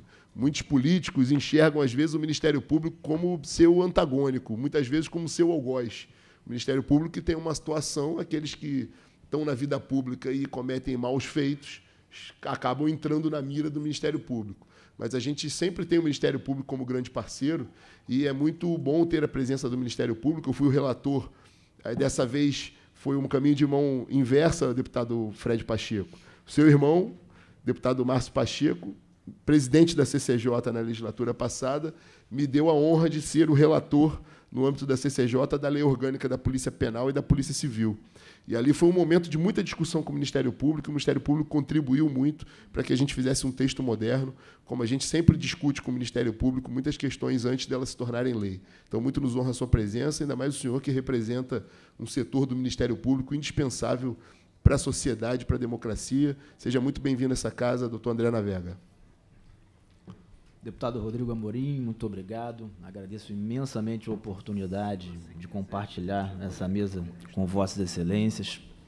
É, como bem disse Vossa Excelência, o Ministério Público nem sempre o algoz, ao contrário, o Ministério Público, modernamente, contemporaneamente, ele busca o diálogo permanentemente com todas as instituições, busca contribuir com sugestões, com diálogo, especialmente com as casas legislativas, e aqui não poderia ser diferentes. Agradeço a oportunidade de estar aqui. Cumprimento Vossa Excelência pela presidência dessa audiência pública. Deputado Fred Pacheco, deputado Alan Lopes, que se ausentou momentaneamente, também cumprimento Vossas Excelências, em nome dos quais cumprimento toda a mesa. É, quero cumprimentar também os cidadãos fluminenses aqui presentes, em especial os pais e a família do Gui, que deram, como já foi dito aqui, visibilidade a esse tema. E quero fazer um cumprimento especial a Tayane, que hoje nos dá diversos exemplos, vem nos dando muitos exemplos, e hoje, é, nessa oportunidade, nessa audiência, é, temos aqui condição de conversar um pouco, de analisar muitos desses exemplos que a Tayane é, vem dando. O primeiro ponto que eu gostaria de tocar é a forma como essa ideia, essa proposição chega à casa, deputado Rodrigo Amorim. Quero aqui de pronto parabenizar a LERJ, parabenizar esse parlamento pela ferramenta, pelo Instituto do Legisla aqui. A gente sabe que o efetivo exercício da cidadania é o meio pelo qual a democracia se concretiza. E haver um espaço, haver um canal direto entre população, entre cidadãos e parlamento é essencial. É de fato uma lição que merece ser registrada. O Ministério Público deixa aqui é, suas felicitações aproveitando o Aldir, que é o, o, coordenador do programa, então, Aldir, fica aqui nossos parabéns pela ferramenta e pela iniciativa. Bom, voltando aqui ao nosso tema, Tayane, além do exercício né, da sua cidadania, de trazer aqui essa proposição, é, um segundo exemplo que ela nos dá é de solidariedade. Porque vejam que uma mãe que enfrenta diariamente né, os cuidados com seu filho, né? Todos nós enfrentamos lutas diárias, mas tenho certeza que a Tayane, nesse contexto, e por tudo que estamos assistindo aqui, é, toda a família, com certeza, é, tem afazeres e dificuldades muito grandes diariamente. Mas o exemplo que ela nos traz hoje é de solidariedade. Vejam que ela não buscou uma providência que atendesse a ela, ou só alguém, ou a sua família. Ela trouxe uma ideia que vai beneficiar diversas pessoas, diversos pacientes no estado do Rio de Janeiro, deputado Rodrigo Amorim. E algo que não é só para agora, mas para sempre, como é toda a lei. Algo que traz visibilidade, que institui um programa para atendimento de todos aqueles que sofrem com a mesma doença. Então, essa é a segunda lição que a Tayane nos dá hoje.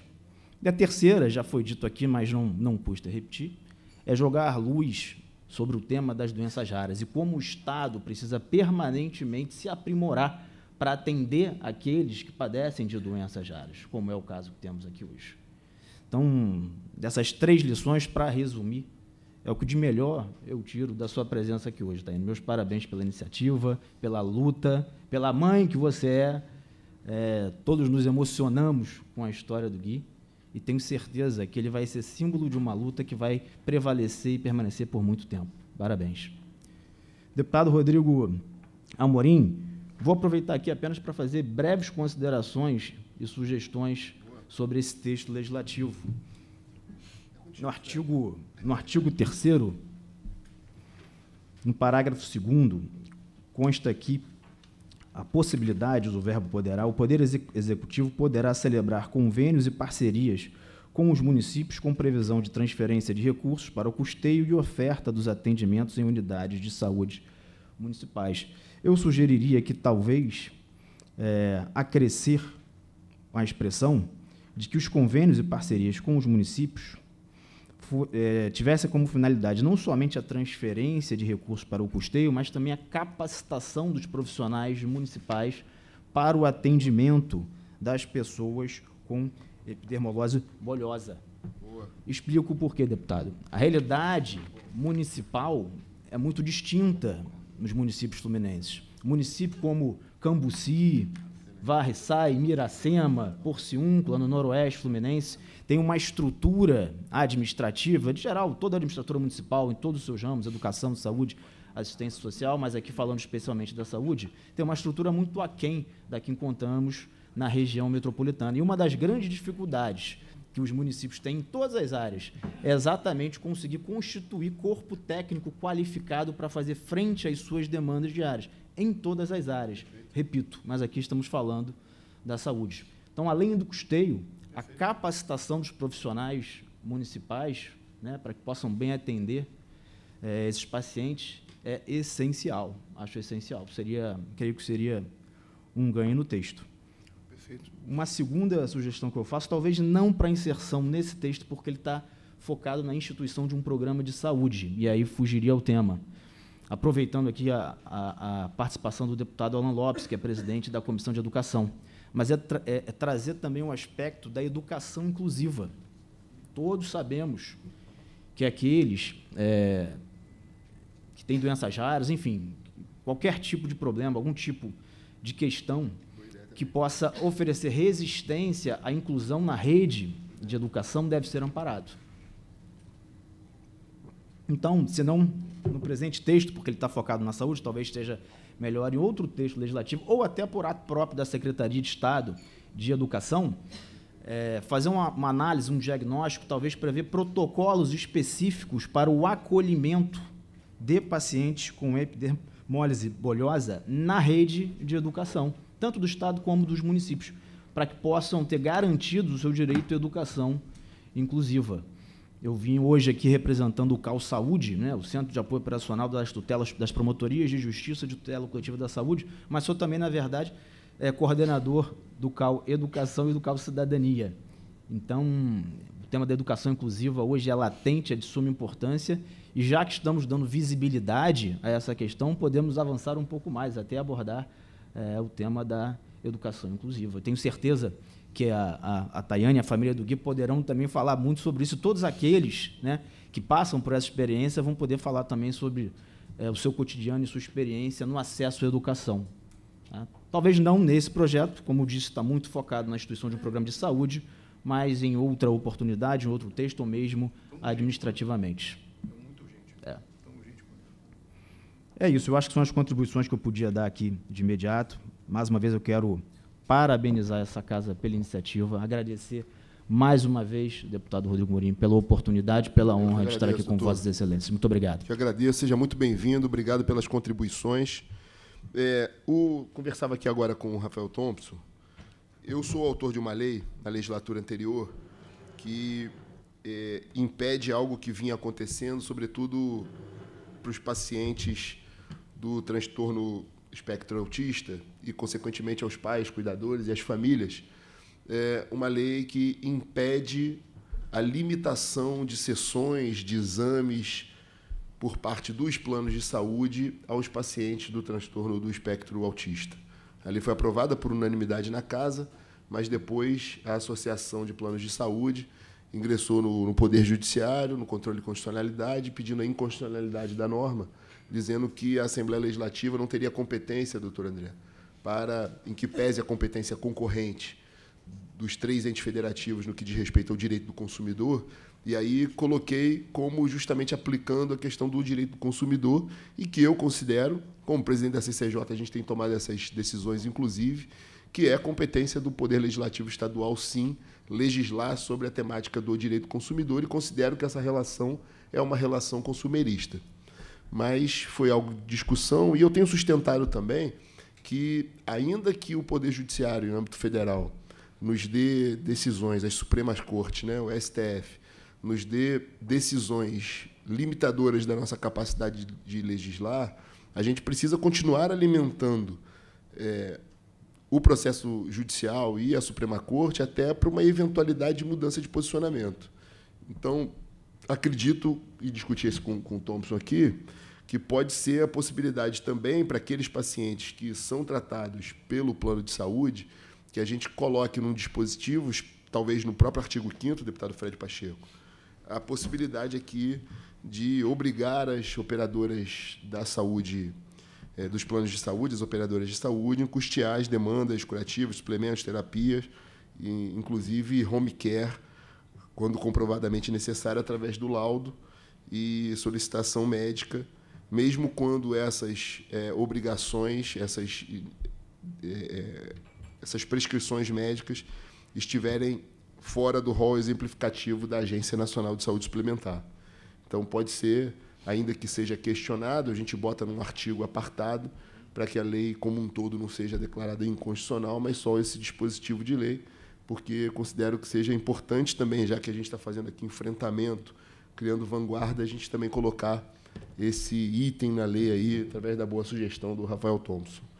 Então, passar a palavra para a Secretaria de Estado de Saúde, para que faça suas considerações e agradecer a presença da Secretaria de Estado e estender aqui os cumprimentos à nossa secretária de Saúde, para que muitas vezes na CCJ, quando a gente está discutindo algum tema, existe uma, uma, uma ação nossa de baixar o processo em diligência para que ele possa receber um parecer técnico daquela secretaria. E aqui a gente tem dois, duas pessoas que foram secretárias de Estado aqui, tanto meu irmão, o vereador Rogério Amorim, foi secretário de Estado, e o Rafael Thompson foi secretário de Estado de Governo. E a gente sabe da importância dessa interação com o Poder Executivo, principalmente com as secretarias e o Parlamento. A partir do momento que a gente está discutindo algo e tem a secretaria presente aqui conosco, é, muito respeito ao Parlamento, muito nos honra. Agradecer aqui ao governador Cláudio Castro pela sensibilidade, que ao longo da sua trajetória também política sempre foi um grande aliado do então deputado Márcio Pacheco e também entusiasta no seu mandato de vereador às doenças raras e à inclusão das pessoas. Então, aqui o nosso reconhecimento e agradecimento à secretária de Estado de Saúde e ao governador Cláudio Castro pela sensibilidade com a matéria. Por favor. Boa tarde a todos os presentes. Né? Meu nome é Carlos Eduardo superintendente da Perícia Médica do Estado. Estou aqui junto com a Cristina Pena, que é coordenadora da, da recente criada Coordenação de Doenças Raras da SES, de forma que a gente primeiro agradece o convite feito à SES para que possa se manifestar tecnicamente, tanto pela questão da assistência quanto pela questão da pensão. Assim, a SES, o que eu posso dizer é que a Secretaria Estadual de Saúde ela é integralmente favorável tanto na questão da assistência quanto na questão da, da pensão especial. A questão da assistência já está sendo vislumbrado pela Secretaria Estadual de Saúde, não só visando a epidermólise bolhosa, como outras doenças raras. Isso foi feito pela SES, criando já uma coordenadoria de doenças raras que vai começar a integrar que vai começar a integrar todos esses processos. Quanto à pensão, conforme já foi dito aqui né, pelo colega médico e todos, é um número reduzido no Brasil. No Rio de Janeiro, salvo engano, a gente estima que tem atualmente 35 pacientes com a epidermólise bolhosa. Então, o impacto financeiro da pensão é desprezível dentro do orçamento estadual. Então, a gente, a, a SES é integralmente favorável, né? e agora com essas novas é, sugestões dadas pelo ilustríssimo membro do Ministério Público e pelo deputado Rodrigo Amorim, eu acho que esse, essa esse proposta de lei se torna irretocável. Então, só Obrigado. temos a parabenizar a, ao parlamento e a todos os participantes. Obrigado. Obrigado. Obrigado pela fala, parabéns pela sensibilidade. Passar a palavra para a Mônica de novo. Mônica. Vamos construir o texto da lei. É igual a casamento, fale agora ou cale-se para sempre. Verdade, então. É, eu fiz algumas anotações que me preocupam, como, por exemplo, é, a questão do mapeamento genético. Por quê? A epidermólise bolhosa ela tem especificidade. Né? Existe a distrófica recessiva, a epidermólise simples, e para cada uma existe um protocolo.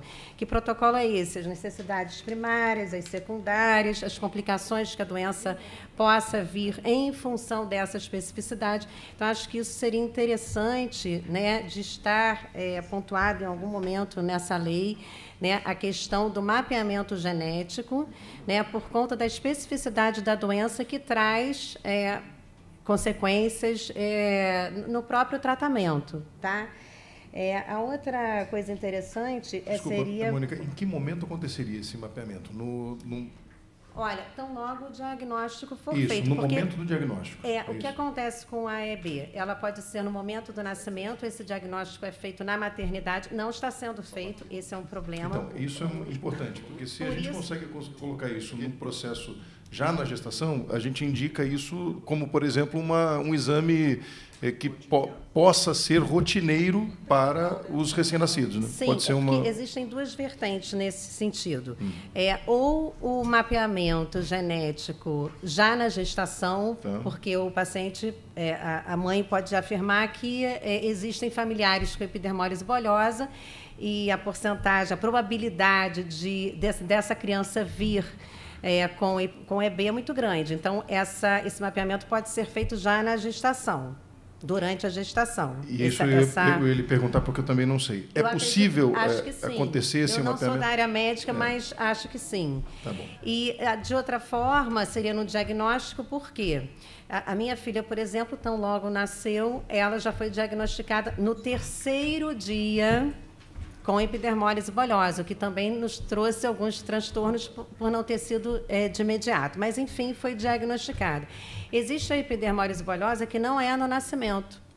Ela não aparece no nascimento, ela aparece no decorrer da vida, que também precisa ser diagnosticado. Então, logo diagnosticado, esse mapeamento é necessário para que então os cuidados sejam feitos de acordo com a especificidade. Ela é distrófica recessiva, né? porque a distrófica recessiva ela tem questões é, de, por exemplo, é, é, problemas de locomoção, né?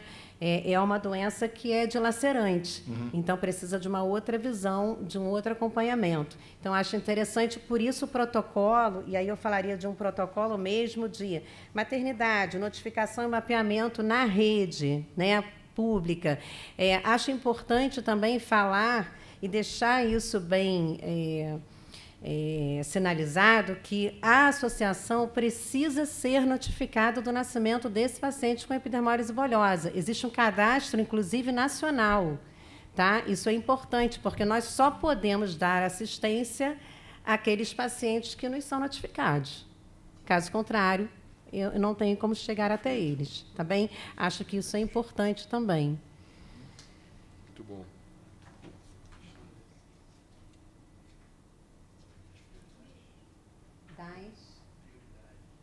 Ah, sim, a prioridade, sim. Muito obrigada. A prioridade no atendimento, né? É, vou até dar um exemplo. Te agradeço profundamente. É, a, o paciente de EB, como as, essas bolhas são internas, eles têm é, problemas como ah, estanose de esôfago, né? E nós recentemente tivemos que tirar os nossos filhos do estado do Rio de Janeiro, levá-los a, a, a Joaçaba, tá? Para fazer uma dilatação de esôfago que é própria para o paciente de epidermólise bolhosa que nós só conseguimos lá. Então, é, essa prioridade de atendimento, a prioridade é, de capacitação de profissionais para essa doença é muito importante para que a gente não tenha que sair do Estado para resolver esse problema. Uma vez que nós temos uma rede de hospitais maravilhosos no Rio de Janeiro, que com certeza existem profissionais de excelência que, que possam nos ajudar. Tá bem? Obrigada. Anotando. Parece que alguém quer, quer fazer uso da, a senhora quer fazer uso da palavra? Pois não, fique à vontade. É, boa tarde, eu sou Andréia Coutinho, é, enfermeira e membro da SOBENF, Sociedade Brasileira de Enfermagem Feridas e Estética. É, em relação à fala do, do é, Carlos, né, é, é Carlos, do Estado, é, assim, eu eu queria lembrar que a sociedade, assim, a sociedade, a nossa sociedade existe há 20 anos. E durante esse período, ela também olhou é, pela epidermólise bolhosa e, alguma, e outras doenças raras. Né? E, assim, em 2018, a gente já fez um trabalho no município, né, é, onde a gente capacitou 300 profissionais né, para a rede. Só assim, não andou para frente, mas a parte assim da sociedade a gente vem realizando e foi assim de forma gratuita, tá? Foi ofertado 300 vagas. É, e a gente tenta continuar com esse trabalho, mas ainda não acertamos ainda como é que a gente consegue fazer. É, além disso, a gente é, vem tentando, assim, tem uma a, a, vice, a vice-presidente da sociedade, que é a Mara Blanc, né, que hoje, infelizmente, ela não pôde estar aqui, ela também participa da sociedade, da Débora, não é isso? Da, da, da Eberge. E é, ela também vem já é, tentando fazer algum trabalho em relação a, a, a, a capacitações né? A gente tem feito algumas capacitações também em alguns municípios, não só em EB, mas em feridas em geral, para as pessoas aprenderem a identificar as feridas e as lesões. Tanto que, quando você falou dos municípios menores, eu até lembrei que a gente tem ido a alguns municípios, assim, fazendo uma troca com eles, né? e assim capacitando alguns profissionais, montando câmara técnica de feridas em alguns que não existem, ensinando mesmo né, o beabá do curativo, porque eles só conhecem sulfadiazina de prata né, e colagenase. Então, e isso, assim, eu não posso passar isso no portador né, de EBEA, né, que não vai dar certo. Pelo contrário, vai acabar prejudicando. Então, assim, a gente tem é, batalhado por isso um pouquinho. Né? E eu queria dizer que a gente continua disposto a ajudar, a colaborar, e estamos aí. Tá? Muito obrigada. Muito obrigado. Parabéns pelas palavras. Quero passar rapidamente aqui para o Marco Lisan, meu amigo de muito tempo, hoje representando a Sociedade Brasileira de Dermatologia. Agradecer ao presidente, doutor Antônio Dacre, Obrigado, seja muito bem-vindo, meu amigo, meu irmão Marco Lizão. Obrigado, obrigado, nobre deputado. Uma satisfação revê-lo e nessa posição que o senhor merece e daí para mais alto. É, doutor Dacre não pôde vir, eu não sou dermatologista, eu não sou médico. Está até brincando que eu já trabalho com saúde há tanto tempo que eu estou quase pedindo um CRM, mas eu não sou médico. É, e a, a minha presença aqui é só para colocar à disposição a Sociedade Brasileira de Dermatologia, é, inclusive Tayane, uma das, das nossas médicas que hoje é, faz, faz parte da, da diretoria, conhece o caso do Gui, já tratou o Gui, a doutora Ana Mosca, que é uma referência em dermatopediatria. E deputado Rodrigo é colocando à disposição a Sociedade Brasileira de Dermatologia, não só nesse assunto, mas qualquer outra pauta sensível à dermatologia, a gente vai estar à disposição para contribuir com esse debate público. E muito parabéns Obrigado. pela sua atuação, deputado. Obrigado, Marco Lizão. Marco Lizão não é médico, é um médico ex ofício, né? um rábula da medicina, porque há muito tempo trabalha com a saúde, mas é jornalista, um jornalista consagrado, importante, e que vai nos ajudar na divulgação do que está acontecendo, não só do Legisla aqui, mas principalmente da lei que a gente vai certamente aprovar na casa. Obrigado, Marco Lisan. Presidente. Pois não, Mônica. É, desculpa incomodá-lo. É, a doutora Ana Mosca, eu fico muito feliz de ouvir o nome dela. Ela é a médica que nos ajuda, ajuda a associação há 10 anos. Ela faz todos os nossos diagnósticos num trabalho voluntário lindíssimo. Eu devo tudo a ela. Eu gostaria que, se for possível, se fosse repassado a ela. Muito obrigada pela, pela presença de vocês aqui. Ela disse que, que alguém veria. É, é uma médica realmente que nunca abriu mão dos nossos pacientes e eu acho até que o tratamento deles até então, junto à nossa associação, é, nós devemos tudo a ela. Tá bem? Muito obrigada. Ter uma lei aqui consagrada né, com a bênção da Sociedade de Dermatologia nos honra muito e dá mais robustez ainda ao texto que a gente está elaborando aqui. Passar a palavra para a Tayane novamente. Inclusive. Alô, som. Tayane.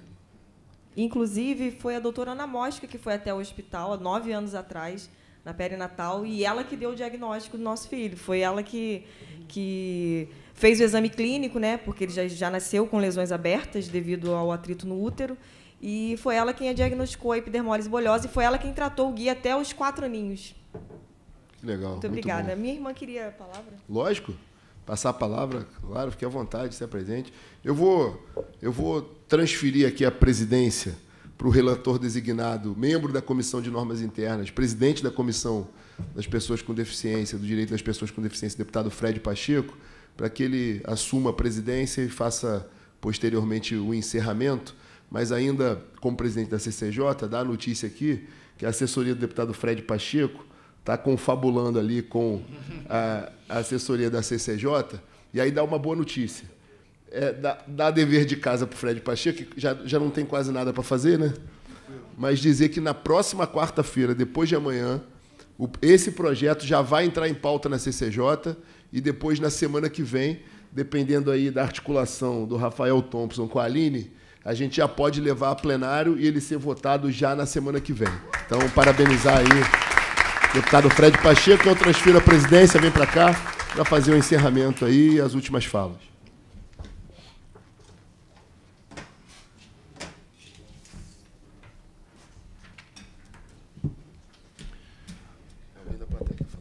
Alguém mais? É, acho que a Mônica queria falar também. Alguma, quem que? Por favor tia do Gui, né? É, é só uma questão aqui referente ao artigo 2 e ao inciso 3 Eu acho que seria interessante é, visar também um tempo máximo a partir do diagnóstico para conseguir implementar esse atendimento que os pacientes teriam. Por quê? Os pacientes hipossuficientes demoram muito mais a conseguirem qualquer tipo de atendimento que tem plano de saúde. E a gente sabe que a rede do SUS tem uma demanda muito grande. Para conseguir um atendimento que para o paciente do EB é muito emergencial, seria necessário uma diminuição desse prazo. Então, se pudesse estipular um prazo, como na lei de 60 dias, né, que é da neoplasia, onde tem um prazo máximo de 60 dias a partir da descoberta da doença, seria interessante avaliar também a possibilidade, nesse caso, ter um prazo máximo para começar, a partir do diagnóstico da doença, as consultas, sejam assim, a primordial nessa dermatológica, mas também as demais, para não ficarem no esquecimento e a gente deixar aí por um prazo que seja pelo menos hábil. Qual é o prazo hoje?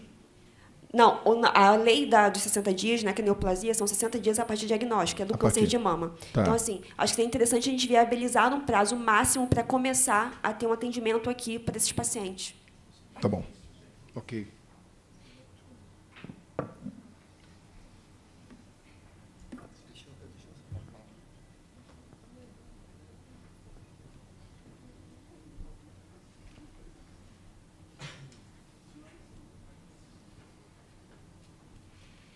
Mais alguém gostaria? Por favor, o pai. É, boa tarde a todos. É, sou o pai do Guilherme, Estevão.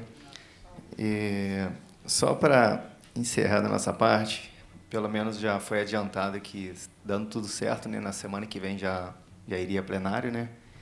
E sendo otimistas, que a gente não tem conhecimento pela pelo conhecimento de vocês aí, o que, que vocês estimam e quando que poderia estar entrando em vigor a lei de fato?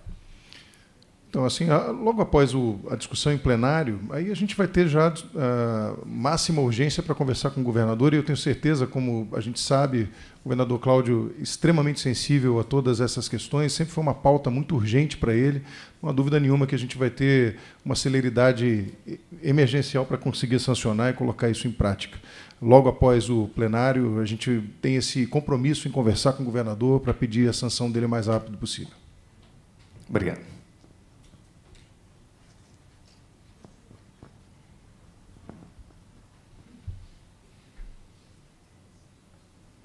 Aqui, aqui também. Boa tarde, meu nome é Rosali. É, eu acompanho o Wanderson, acho que desde os 14 anos, não sei, porque eu conheci o Wanderson quando eu fazia um trabalho social com o pai dele. A gente distribuía peixe na comunidade. A gente ficava de 10 à meia-noite no Ceasa recolhendo peixe para doar no, no, no, dia seguinte. Então, foi onde eu conheci o Wanderson e adotei como minha família. É, o Vande é formado em gestor de RH, né? Eu ainda estou me formando em direito, ele já passou da minha frente, né? É formado. E eu não sei se o que eu vou perguntar se, seria incluso ou não nesse projeto. Então, o que acontece? A gente vê muito falar da, da cota do PCD, correto? Área profissional. Então, ele, exemplo, essa semana ele foi fazer uma entrevista de emprego e ele sempre vai para a entrevista de emprego tentar algo. Uma coisa que eu reparei que, quando se fala vaga de PCD, vê mais a parte física. O deficiente físico e não, não o paciente com doença rara. Então, eu vejo que, às vezes, ele tem, tem alguma discriminação. Exemplo, é, ele vai para as entrevistas, português claríssimo, inteligência, sabe usar o celular, tudo direitinho, beleza. Mas eu não sei se a parte é, da, da epidemólise bolhosa se está influenciando ou não ele ser chamado, porque pela qualificações que ele tem, já era para ter sido chamado. Né? Então, não sei se, se isso vai, é incluso nesse projeto ou se é um outro projeto. Obrigada. Eu acho que a primeira maior é, barreira que nós entendemos hoje, que nós percebemos hoje, mais do que a questão das cotas, é a barreira da atitude, que é o que a gente chama de barreira atitudinal. Né? E as pessoas entenderem, principalmente os empregadores, entenderem que existem limitações, mas que a capacitação ela é, tá ela é superior a isso, a qualquer tipo de limitação.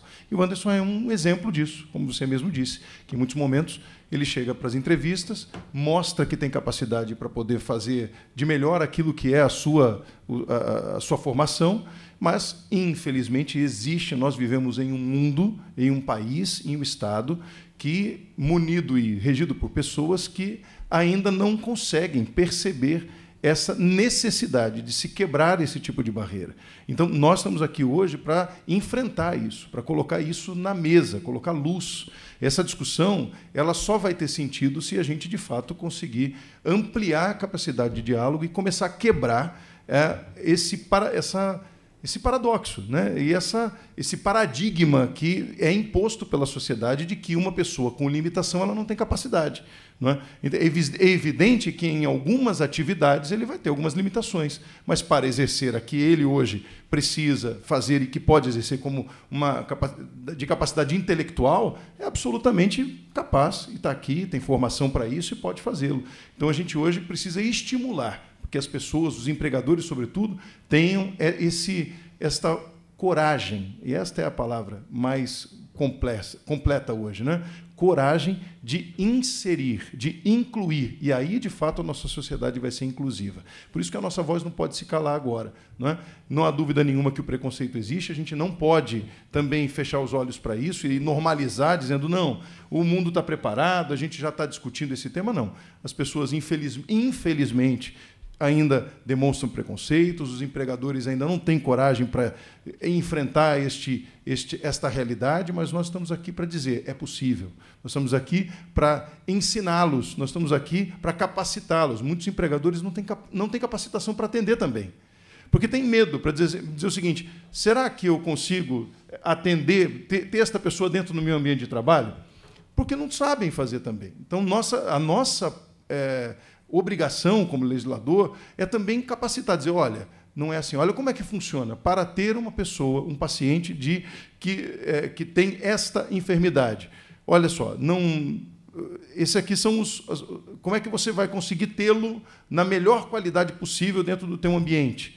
E assim, se a gente conseguir dar informação, se a gente conseguir dar conhecimento, não há dúvida nenhuma que o próprio empregador vai se sentir mais seguro para ter é, é, qualidade, para dar qualidade de vida e ter qualidade também dentro do seu ambiente de trabalho. Essa é a nossa função. Mas, claro, por favor. Aproveitar essa, essa deixa que você colocou. A gente tem uma lei estadual, estava vendo aqui, que é a Lei é, 2298, que ela trata da questão da reserva de vagas e ela especifica no anexo quais são as pessoas que teriam essa condição nas vagas do serviço público, que é uma competência nossa. Aqui, a LERJ teria condições de fazer isso. Então, já fica aqui, deputado Amorim, é, uma sugestão de que ou algum deputado ou né, vocês, através de uma iniciativa também do Legislativo, aqui possam apresentar uma sugestão de alteração nessa lei, acrescentando as doenças raras como é, motivador né, dessa reserva de vaga para os concursos também. Muito bom. Presidente, permite? Claro. Já fica aqui pegando o gancho de assinar junto com o deputado Fred Pacheco aí, eu que tenho feito uma pauta muito direcionada a concurso e o deputado Fred, as pessoas com deficiência, acho que é um bom casamento. Já fica o compromisso aí, mais um dever de casa, de da gente protocolar esse PL aí, eu e o deputado Fred Pacheco, essa semana, e dar a maior celeridade possível. Obrigado pela, pela iniciativa pela dica. Obrigado. Mais alguém gostaria de fazer uso da palavra? Cristina pois não, Cristina Pena, coordenadora de doenças raras, por favor, microfone.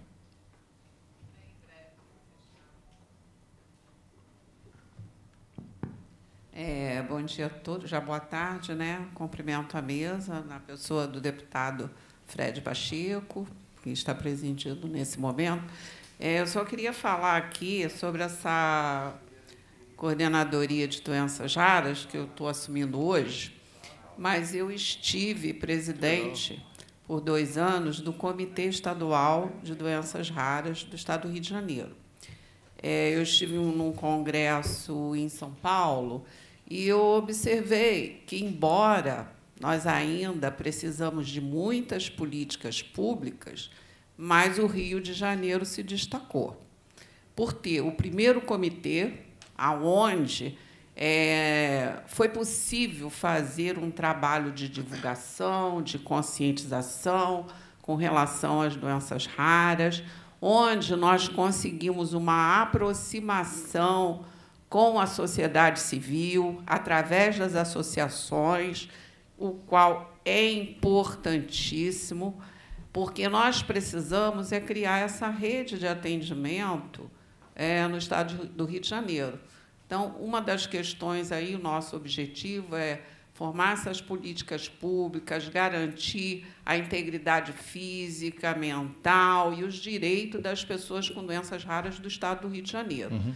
Então, a ALERJ, grande parceira, o Poder Executivo, a sociedade civil, nós vamos avançar. Eu estou chegando no que eu puder, já estou começando, nós já vamos fazer o encontro das associações na secretaria e nos colocamos à disposição.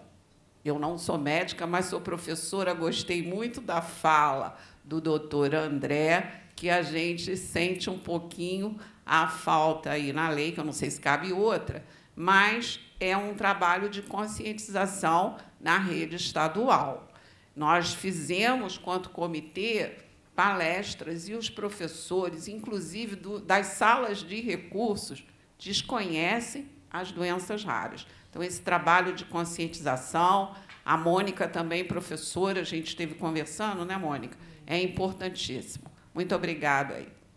Muito obrigado, Cristina.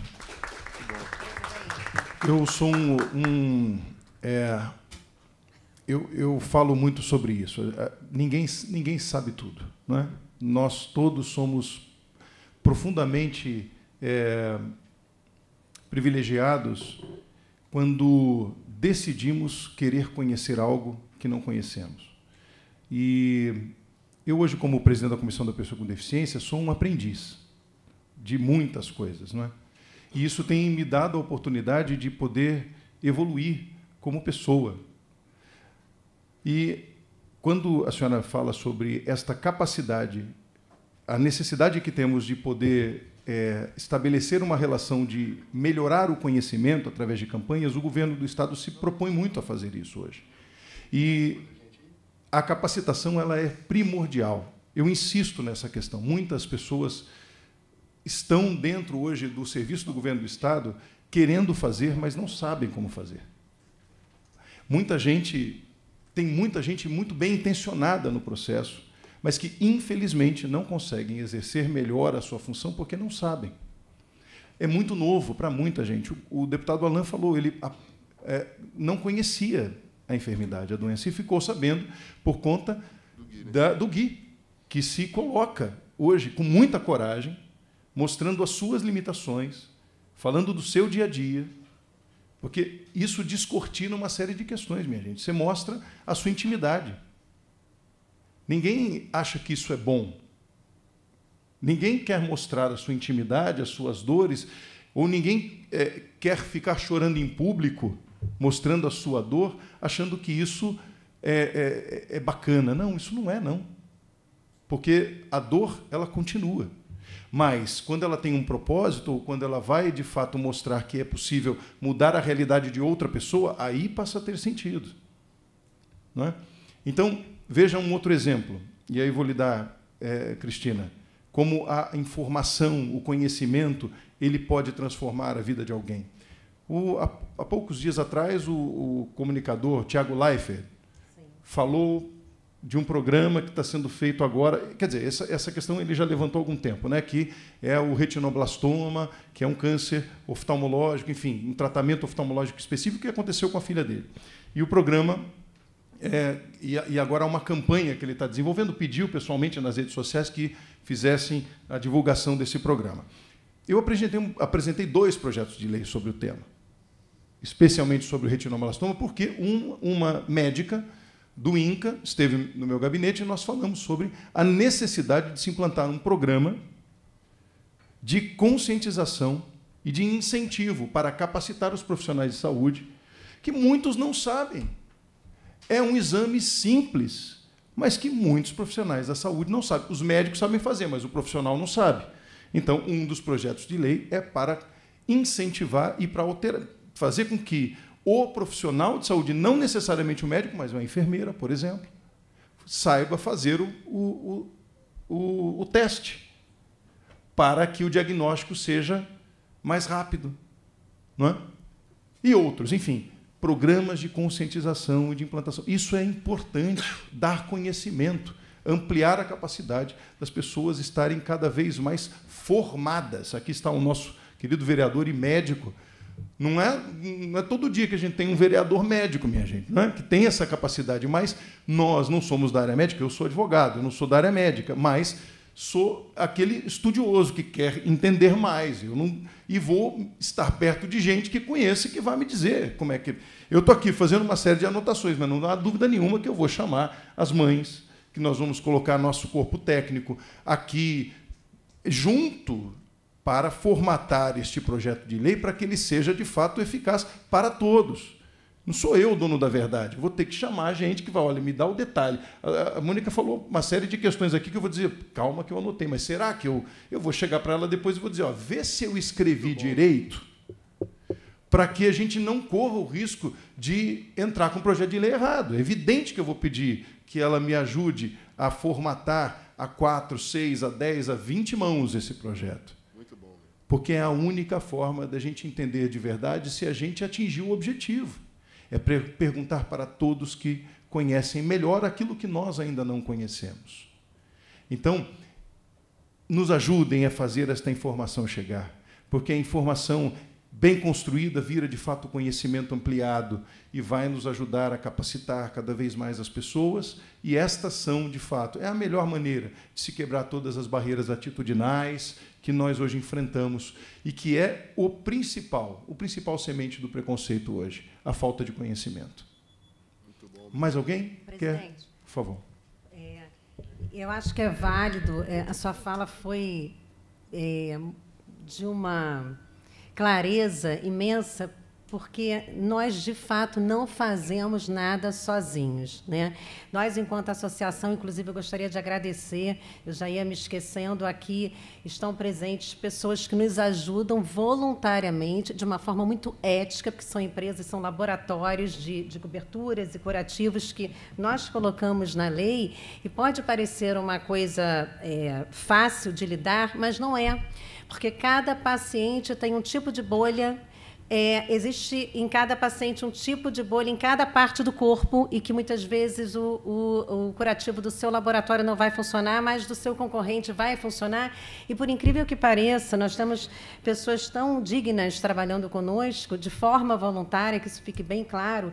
É, que são capazes de olhar para esses pacientes como seres humanos e não como prováveis compradores de produto e, e, e oferecem para nós laudos de uma, de uma formatação técnica, são enfermeiros desses laboratórios que visitam os nossos pacientes, eu tenho alguns aqui. É, então, gostaria de agradecer sim, a esses laboratórios que vieram hoje é, acompanhar essa audiência pública conosco. É, o pessoal da Pulfix, da Monlic, da Convatec, que estão, estão aqui. Aí? Estão aqui. Sim, fazem esse trabalho Muito conosco, obrigado, um trabalho ético e que trazem, sobretudo aos nossos pacientes, é, conforto. Porque não é qualquer curativo, não é qualquer cobertura, e por isso nós fizemos questão de colocar isso na lei, porque são muitas mãos trabalhando para o conforto desse paciente, muitas mãos, porque a gente tem que ter humildade para aceitar que nós não sabemos tudo. Então, é, olha só que bonito isso, né? Quer dizer, os profissionais, os, os enfermeiros, precisam saber qual é o melhor a melhor atadura a se usar. E é a capacitação entender, que vai trazer isso. E não tem jeito. É, é só capacitando, é só ajudando, é só estando do lado. E, e, e, a gente vai precisar contar com todos vocês. A gente, a gente não conhece, é assim, das mães, enfim, todos os profissionais e agentes que querem, de fato, transformar as vidas. É isso que é importante, minha gente. É, é, cada um de nós, nós temos no seu pedaço um dever. E se hoje nós temos um dever aqui, é de realizar algo que possa mudar a vida de alguém e dar mais conforto, mais tranquilidade e mais plenitude para as pessoas. Tayane, por favor. Mônica disse, a, o curativo que é usado às vezes na, no braço não é o mesmo usado no dorso. Sim. E esses profissionais que nós convidamos a estar aqui, eles têm uma visão tão humana, eles individualizam os pacientes eles tratam cada paciente como únicos. Perfeito. Então, eles vão até a nossa casa sem fins lucrativos. Eu recebi a visita de todos eles, da Urgo, da Convatec, da Molic. Eu, eu recebi a visita de todos eles e todos eles levam curativos para gente. Que legal. Eles levam os curativos para a gente e oferecem a gente, para todos os, os, pacientes dos quais eles têm conhecimento, a possibilidade de melhorar a vida deles. Então, isso é muito importante na nossa, na nossa luta, porque às vezes existem curativos que a gente não, não conhece. Né? Então, eles apresentam para a gente e isso causa uma melhora na vida do, do, do paciente com epidermólise bolhosa que já é tão sacrificante. Então, eu agradeço, a Mônica é, muito bem lembrou. E esse curativo, só para fazer um parênteses, ele precisa estar dentro dos hospitais, porque é no atendimento é, imediato né, que, que a doença, ela muitas vezes regride, né? não piora o quadro do paciente, Causa traz conforto, traz menos dor. Então, é sobre isso, né? é sobre essa, essa capacitação, esse reconhecimento daquilo que é próprio para o paciente de epidermólise bolhosa, inclusive no que diz respeito aos curativos.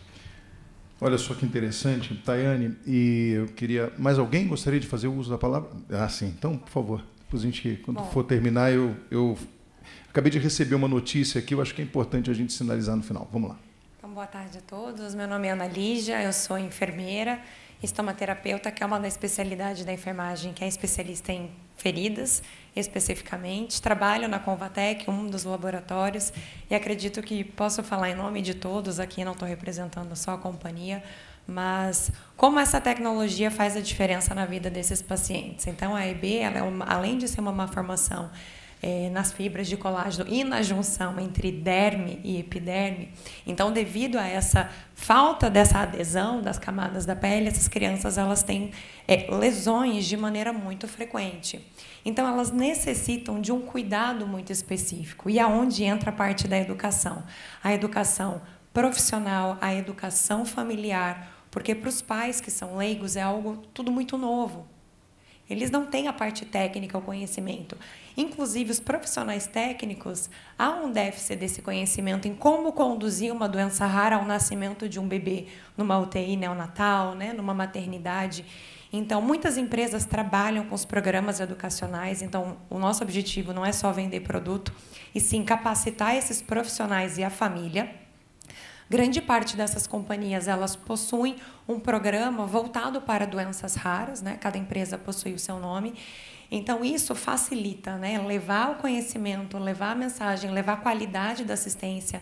Não são qualquer tipo de curativos. Acredito que muitos, quando pensam em curativo, pensam em band-aid, atadura, gaze. São produtos que precisam ser de silicone pelo fato da fragilidade dessa pele, a fragilidade cutânea.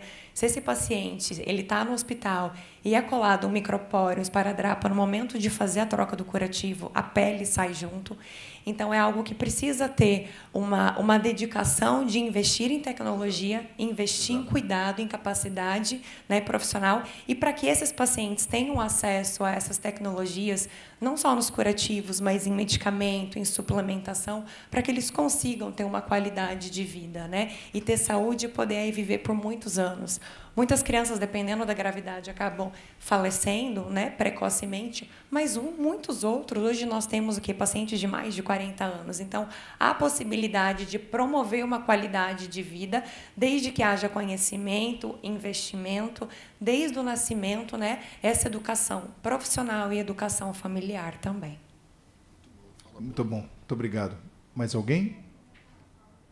Pode falar, por favor.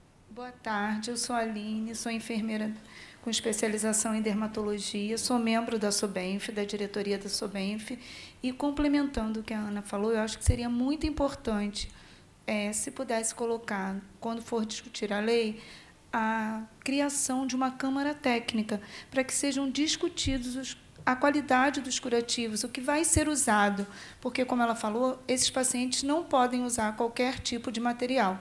Então, a criação de uma câmara técnica com profissionais capacitados para que sejam realmente escolhidos materiais de qualidade, para que a gente possa oferecer o melhor para os nossos pacientes. Obrigada. Muito bom, muito bom. Por favor. O microfone dela acho que não está funcionando. Ah, acho que agora foi. Foi. É, meu nome é Cristina Pliego, sou mãe do Felipe. Virei presidente da associação e fundadora, junto com a Mônica e outras mães da Associação de Epidermólise Bolhosa.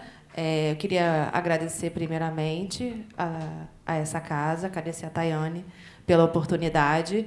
E, como mãe, né, eu quero deixar aqui meu agradecimento, porque a partir do momento que a gente consegue tirar o nosso filho da maternidade, que é um problema, o nosso índice de óbito neonatal é muito alto, isso é um ponto a ser é, falado também, e isso vai estar dentro relacionado à questão do, da cobertura inadequada, da terapia inadequada, da abordagem inadequada desse paciente, e, consequentemente, essa mãe vai para casa com um bebê cheio de feridas. Né? E essa mãe tem que ser capacitada dentro da, da maternidade para cuidar desse filho. Como é que vai ser o primeiro banho, como é que vai ser o curativo. E isso a gente acaba fazendo junto à associação e às empresas privadas que dão esse suporte para a gente. Mas é importante ter é, a possibilidade dessa mãe, junto com o projeto de lei, em ter condições financeiras, principalmente. Nem todas as crianças têm plano de saúde, a maioria não tem. O nosso nível de óbito é muito grande óbito também de crianças já em desenvolvimento, adultos que são amputados com 35, 40 anos. A gente tem alguns que são super bem cuidados. Né? Eu quero aqui fazer minha homenagem à mama, que levanta, mama, porque eu preciso que você uhum. levante. Ela é nosso exemplo. É uma, essa é uma guerreira, né? Ela teve dois filhos com epidermólise, dois, né? E com toda a luta, ela leva o filho para a faculdade, ela mora em Vila de Teles, ele estuda no centro do Rio. Todos os eventos que a gente faz na Praia de Copacabana, ela está presente. Parabéns. Ela leva o doce para vender. Ela nunca desistiu do filho dela. Ela nunca escondeu o filho dela. Então, assim, eu como mãe, eu quero agradecer e dizer para vocês que a nossa luta é diária. Eu me inspiro nela. Então, eu, eu tenho a sorte de ter conhecido a Mama, de ter conhecido a Mônica, de ter conhecido a Tayane, entre outras mães. E queria só agradecer e dizer que é muito bom a gente poder avançar. Tá? A gente está aqui desde. Meu filho nasceu em 2012, está desde 2014 com a associação, junto com as doenças raras, com o grupo de doenças raras. Não sei se tem alguém aqui do grupo de doenças raras. A nossa associação participa desse grupo de doenças raras, caminhadas de doenças raras, enfim. A gente se enfia em tudo quanto é lugar, congresso de ferida a gente está. Então, a gente está sempre dando visibilidade, que é o objetivo. Para uma criança poder ir para a escola, para a gente ir na escola falar, a gente na rua divulgar, a gente está no shopping, alguém falar, eu puxo um panfleto da associação. Porque teve episódio também, né, do filho da Débora Coker, acho que todo mundo sabe quem é, a bailarina, que é o Theo, que teve com a gente também no último encontro que a gente fez, que ajudou bastante. E, consequentemente, até os pacientes terem acesso, né, porque a maioria, e aí entra a questão do Ministério Público, dos processos são judicializados. Né? Isso aí é outra questão que a gente tem que ver em relação aí município, estado, enfim, fica essa essa questão, mas acho que é papo para mais à frente. Mas eu só queria deixar claro, dizer que a associação está de portas abertas em relação a treinamento. A gente tem profissionais que, voluntários que podem participar, a- as empresas privadas também. Então, eu acho que isso é importante. A gente quiser fazer um esquema de alguns municípios, enfim, a gente pode eh, trabalhar com isso. Dizer que a gente está à disposição. Eu, Mônica, né, como representante da IBERG, eu como mãe, Mônica como mãe, Thay como mãe, e Mama como mãe, né? nossa mãe também, e agradecer profundamente pela sua oportunidade. Tá? Obrigada. Mais alguém gostaria de falar? Por favor. Wanderson Dias boa tarde a todos. Eu sou o Wanderson de Jesus, filho da Marinalva, a mama, minha mama. É, é, só algumas considerações aqui sobre a Lei Gui. Eu gostaria de propor que o dia em que fosse aprovada esta lei, de fato, que ela pudesse entrar no calendário estadual como o dia que foi aprovada a Lei Gui e que ela pudesse ser veiculada em todas as mídias, todos os veículos de imprensa. É, mais uma questão também que 20, dia 25 de outubro é o Dia Mundial de Conscientização da Epidemólise Bolhosa.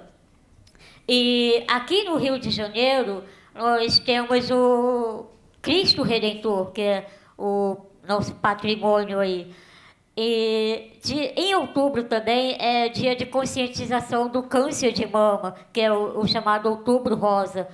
E o que acontece? O dia da, de conscientização da epidemólise acaba sendo ofuscado pela conscientização do câncer de mama, o Outubro Rosa. Então, eu gostaria de pro- propor que, eh, juntamente com o Outubro Rosa, em que o Cristo Redentor ele fica todo iluminado de rosa, eh, nós que temos epidemólise acabamos ficando, acabamos ficando ofuscados e nós temos um símbolo que é a borboleta, a borboleta, porque a borboleta tem uma asa frágil. Você pegar uma borboleta na mão eh, e fazer um movimento brusco, ela vai se desfazer na sua mão. Assim acontece com a nossa pele. Nós temos a pele frágil.